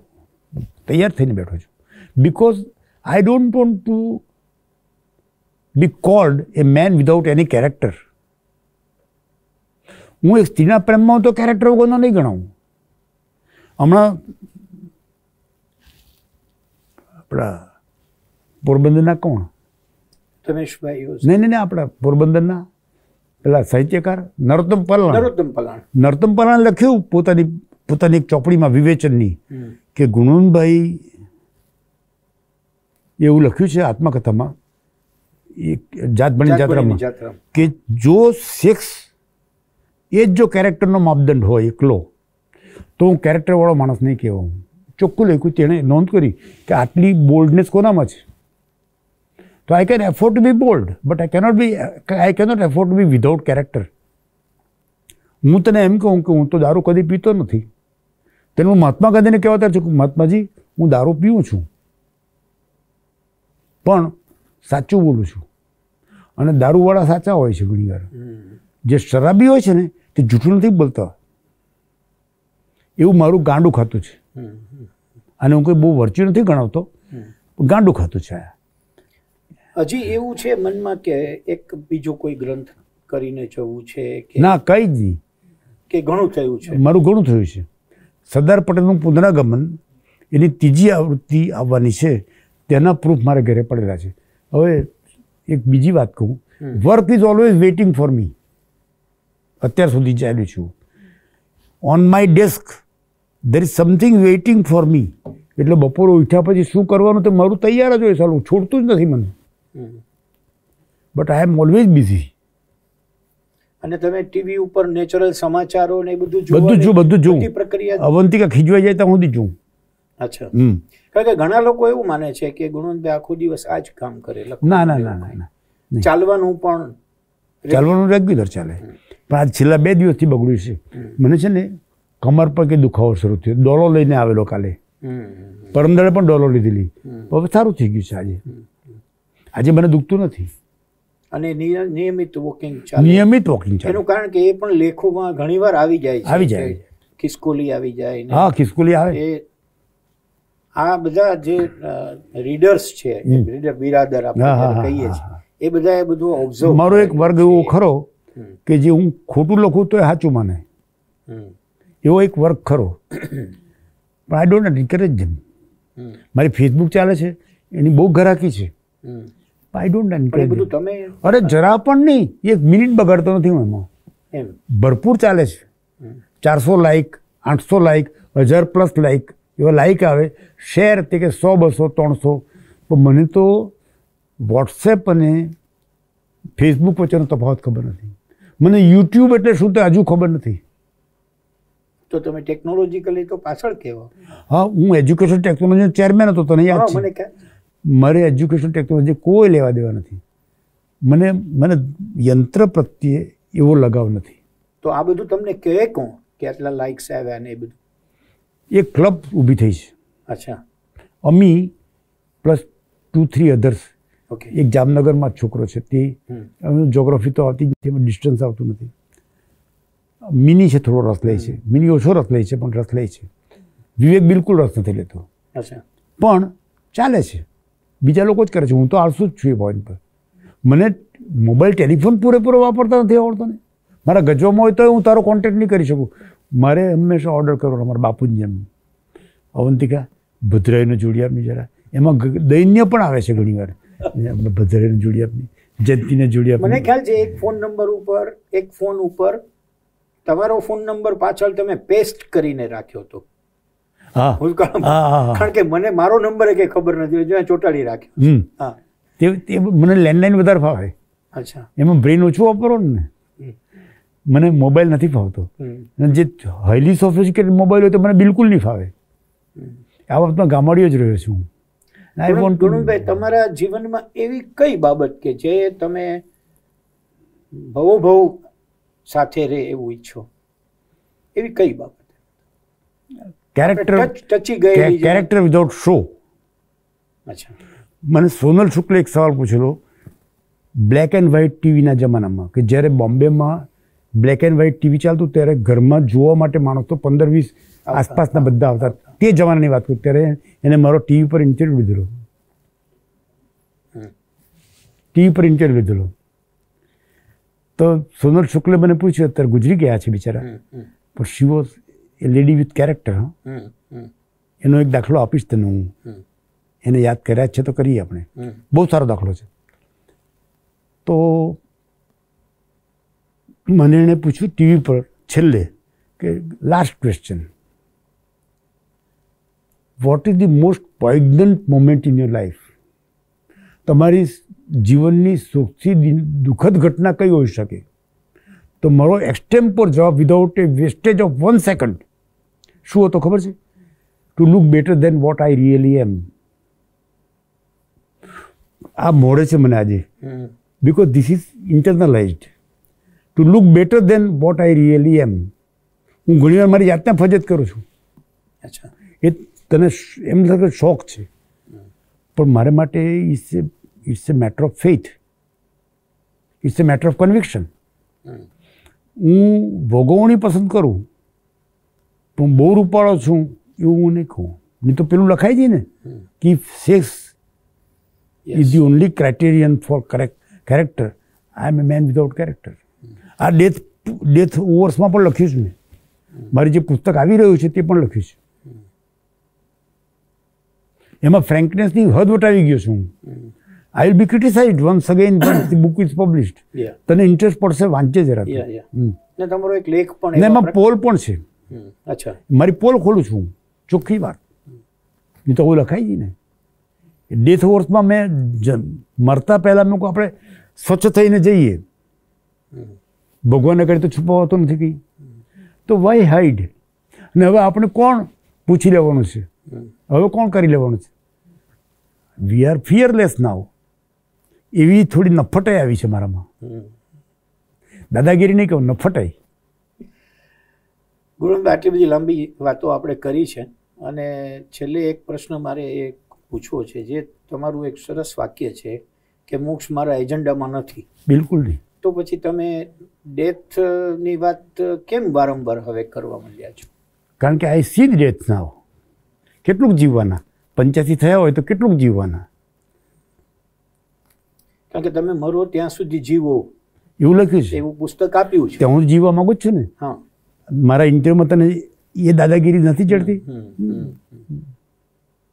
પણ એનો કોઈ એમ સાંકેતિક કારણ છે કે ના. આ કહેવાનું? ના ના મારા માટે સહજ છે એમ. હમ. મારા માટે સહજ છે આમાં કોઈ સંકેતિક કારણ નથી. ખરી વાત એ છે કે now I don't want money હું મનીથી પર એવો કેદારનો થઈ ગયો છું. અને જેમ જેમ મનીથી પર થવાનો પ્રયત્ન કરું તેમ તેમ મની વધારે આવે છે. પૈસા મને શોધતા આવે છે યાર. હમણાં બાપુના પચોતેર હજાર ત્યારે મને કે મારે જરૂર નહોતી ને પાછા આવ્યા. હવે ભગવાનને હું એવી પ્રાર્થના કરું છું કે મારે વધારે પૈસા જોઈતા નથી. છોકરાઓને પણ બગાડવા નથી મારે. અને મારા છોકરાઓ વિનોદ ભટ્ટે ફોન કર્યો. મને મહારાષ્ટ્ર સાહિત્ય એકેડેમીનો એવોર્ડ મળ્યો એકાવન હજારનો. વિનોદભાઈને ખબર પડી. એટલે વિનોદભાઈ કે ગુણવંતભાઈ આમ વિનોદ ભટ્ટને આમ આમ આમ કરીને વાત કરવાની ટેવ છે. તે ટેલિફોન પર ગુણવંતભાઈ એક વિનંતી કરવી છે પણ વૈજયંતીમાં પૂરેપૂરો આગ્રહ છે. આમ વિનોદ ભટ્ટની સ્ટાઇલ મુક બોલો. હા એ એકાવન હજાર જે મળે છે તે દાનમાં આપવાનું નથી. વચન આપો. મુકુ વચન તો નહીં અપાય. મુકુ તમે હવે હું કામ આગ્રહ રાખો છો? મારે એકાવન હજારની જરૂર નથી, છોકરાઓને જરૂર નથી. પૂરતા છે એ લોકો પાસે. વિવેક પાસે અત્યારે બોમ્બેમાં બે ઘર છે. બંને ઘર આફલાતું હવે what else do you want મને પૈસાનો બિલકુલ મોહ નથી. That too in Bombay that too in Bombay વર્ષોવામાં એનો એટલો સરસ મોટો ફ્લેટ થયો. ફ્લેટ નાનો છે પણ એટલો ડિસન્ટ બે બેડરૂમ બે બાથરૂમ બેડરૂમ કિચન અને એટલો ડિસન્ટ કે આપણને રહેવા જવાનું મન થાય. હું તો જિંદગી ગાળવા તૈયાર ત્યાં. અલુફનેસ અને સ્વચ્છતા મળે આપણને. અને દરિયો મળે. દરિયો એક એક રૂમમાંથી દેખાય. વર્ષોવા એવું એવું બન્યું હશે ને કે કોઈ એક સમયે પુરસ્કાર ને. જ્યારે સંતોષ થયો ત્યારે દાન તરફ કોઈ યુવતી હા? ત્યારે દાનમાં આપવાનું નક્કી કર્યું. દાનમાં મેં આપવાનું નક્કી કર્યું ફ્રોમ ધી ફર્સ્ટ ડે મને પેન્શન આવી ગયું એવો કાગળ મળ્યો એટલે મેં દાનમાં આપવાનું નક્કી કર્યું. કાંતિભાઈ પર કાગળ છે એનું કે હવે હું પુરસ્કાર લેવાનો નથી તમને આપવાનું શરૂ કરું છું. એટલે પિંડોળ મારા બધા દાન. મેં પિંડોળમાં લાખો રૂપિયા આપ્યા. આ સંજય ભવસાને મેં ઓછામાં ઓછા આઠ દસ લાખ આપ્યા છે. અને ઘણી વખત તો સીધું જ તમે કોઈના નામને જ અરે એકવાર મને એક લાખને એકાવન હજારનો પુરસ્કાર નડિયાદમાં મળ્યો. આપણો કોણ છે નાગર? હસીત હસીત હસીદ નો જ યસ મને કે દોઢ લાખનો પુરસ્કાર હું આવું છું તો તો આવવાનો જ. કારણ કે મને એમ કે એટલે પીજીને ફોન કર્યો કે પીજી તારું ગુજરાતી માતૃભાષાનું ચાલે છે ને?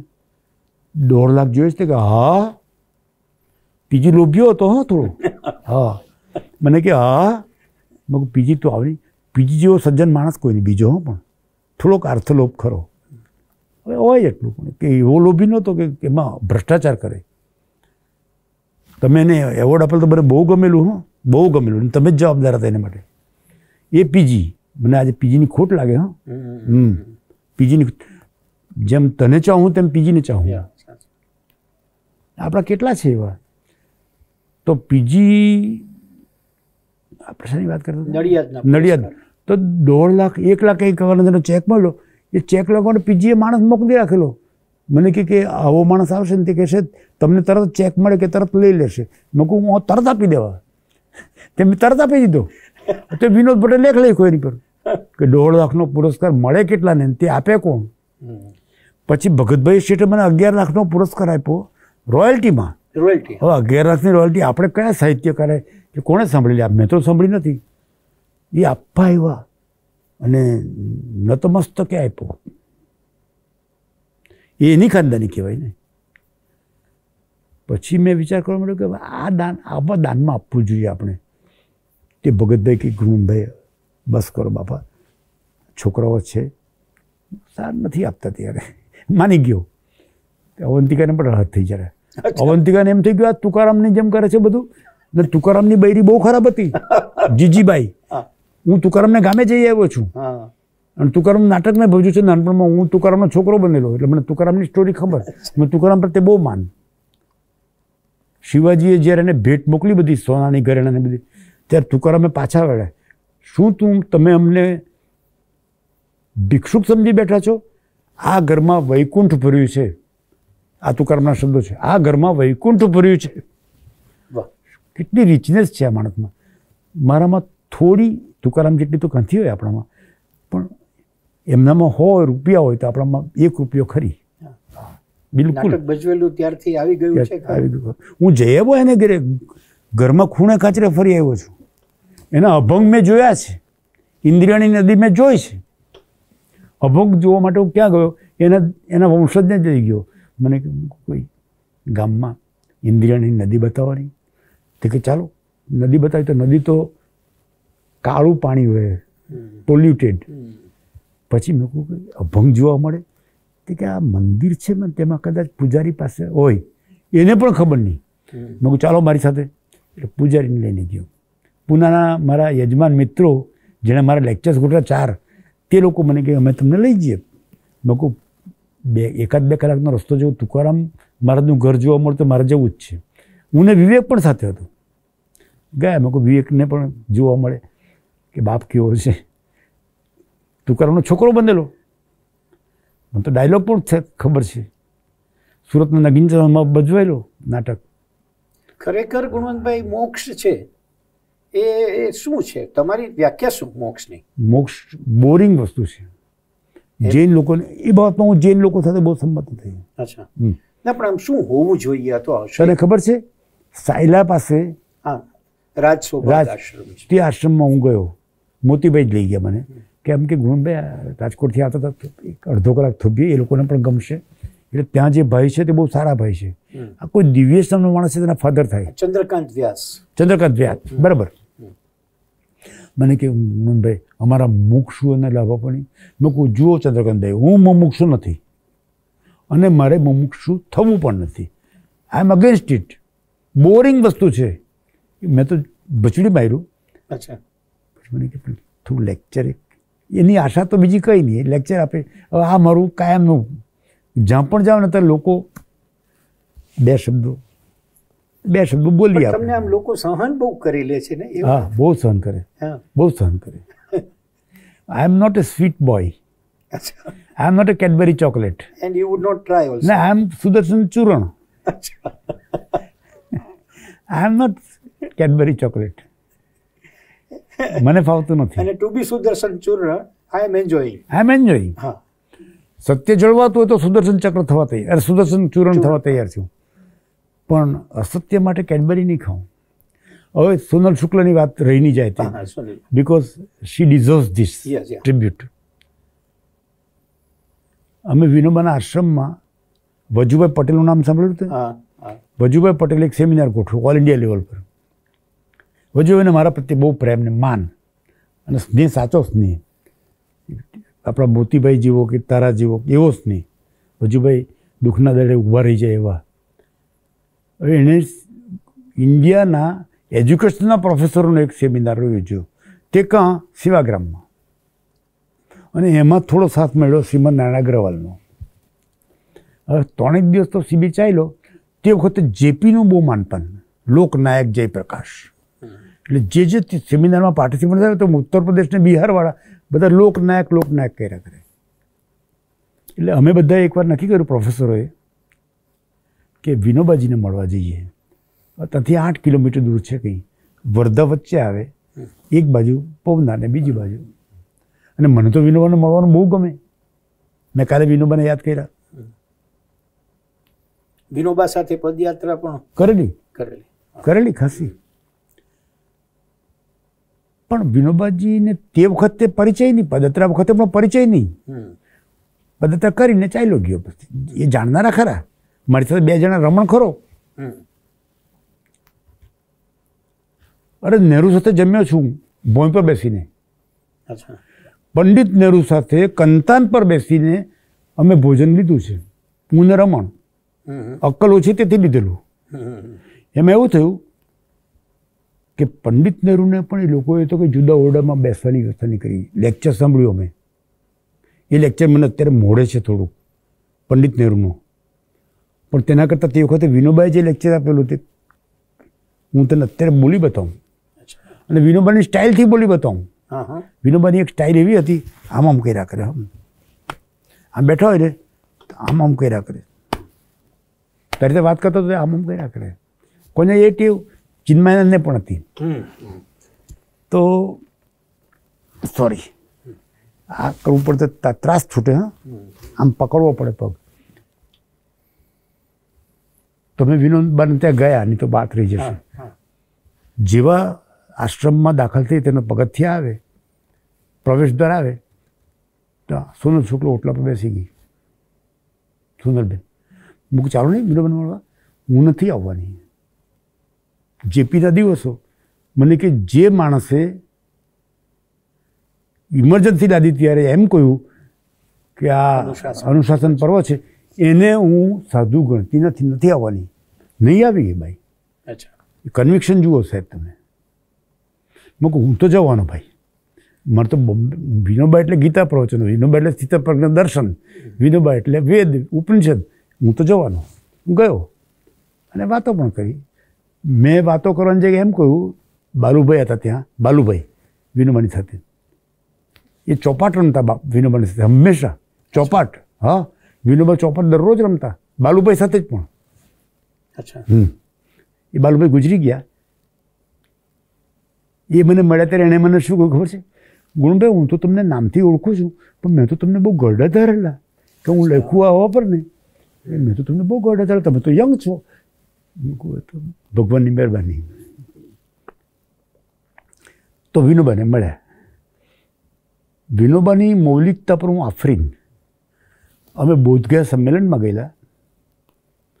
તો મહારાજની લાગો ચાલે જ વિનોબા બપોર એટલે અમે ગુજરાતના કાર્યકર્તાઓ ભેગા મળ્યા કે આપણે વિનોબાજીને બોલાવીએ, આપણા બેઠા હોઈએ ત્યારે થોડી વાતો સાંભળીએ થોડોક લાભ લે દર્શનનો ને બધું આમ તે વખતે તો સર્વોદય એટલે અમારા મન તો ખલાસ. તેમાં વિનોબા એટલે તો ગાંધીજીની જગ્યાએ. મહારાજે લાગુ લગાડી વિનોબા આવ્યા. પચીસેક મિનિટ બેઠા હશે તેમાં એણે તો કેટલી મૌલિક વાત કરી તેને દાખલા આપો મને મળે છે અત્યારે. પહેલું એણે એમ કહ્યું વિનોબાએ કે જો બુધનને સફળ કરવું હોય તો આપણું ચિંતન સર્વસ્વ બુધનને આપો. ચિંતન સર્વસ્વ શબ્દ મને વિનોબાએ આપ્યો.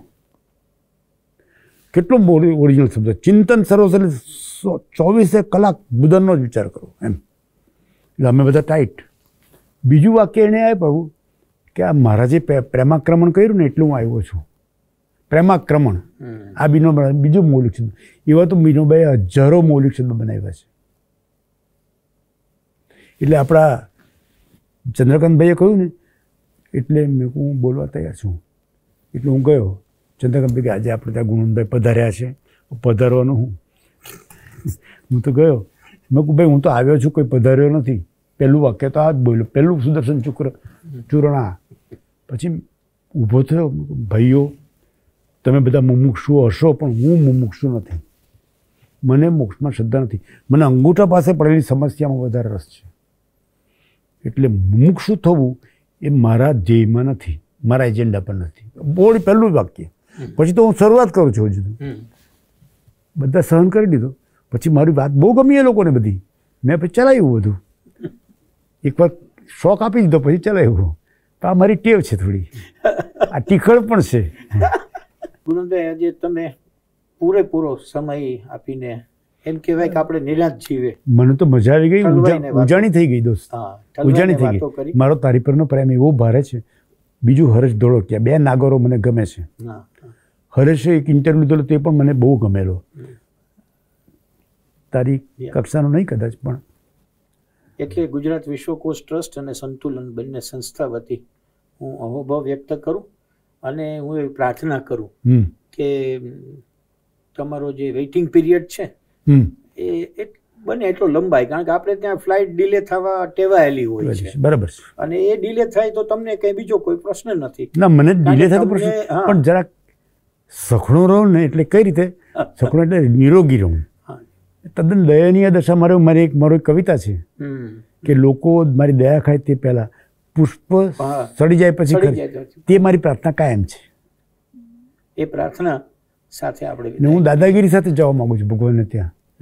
મેં તારા જ ભાષણમાં કહ્યું કે સહેવાગ ડબલ સેન્ચુરી કરે ત્રણ સેન્ચુરી ફટકારે પછી બેટ હલાવતો હલાવતો પેવિલિયન પર જાય છે. બાપુએ દાખલો પણ આપ્યો છે કોઈ જગ્યાએ કથામાં. બેટ હતો હલાવતો જવા માગું છું. કેમ? કે ભાઈ, મેં તારી મરજી વિરુદ્ધ કે બહુ કામ કર્યા નથી. અને મારું કોઈ ચારિત્રક સ્ખલન થયું હોય, તો તે પણ તારે જ કારણે થયું છે. હું કોઈ થોડું કરવા ગયેલો? સો પાર્ડન મી બટ દાદાગીરી સાથે તાર ત્યાં આવું છું. એટલે લોકોને છેતર્યા નથી, શોષણ કર્યું નથી, જુઠ્ઠું બોલ્યો નથી વારંવાર. લોકોને બનાવવાનો પ્રયત્ન કર્યો નથી કે હું સારો માણસ છું. નહીં તો સુંદરને આવો જવાબ આપું. કે what is the poignant moment ખરાબમાં ખરાબ દુઃખદ અનુભૂતિ કઈ? તે કે હું છું તેના કરતાં સારો દેખાઉં તે. What what more do you want in honesty આ ઓનેસ્ટીનો દાદાગીરી છે મારી. તારી સાથે દાદાગીરી પૂરો છું તારે સજા કરવી તો કર. હું સજાને લાયક છું પણ તેથી છુપાવતો નથી તારાથી. તારાથી છુપાવવા એમ છે જ નહીં. ધીસ ઇઝ માય મસ્તી વાહ. ઓકે. ચાલો. એટલે આપણે પ્રાર્થના કરીએ કે દાદાગીરી અને ગુણવંતગીરી સાથે હા બરાબર બરાબર. આપણી વચ્ચે. મને વાંધો નથી. નમસ્કાર. નમસ્કાર.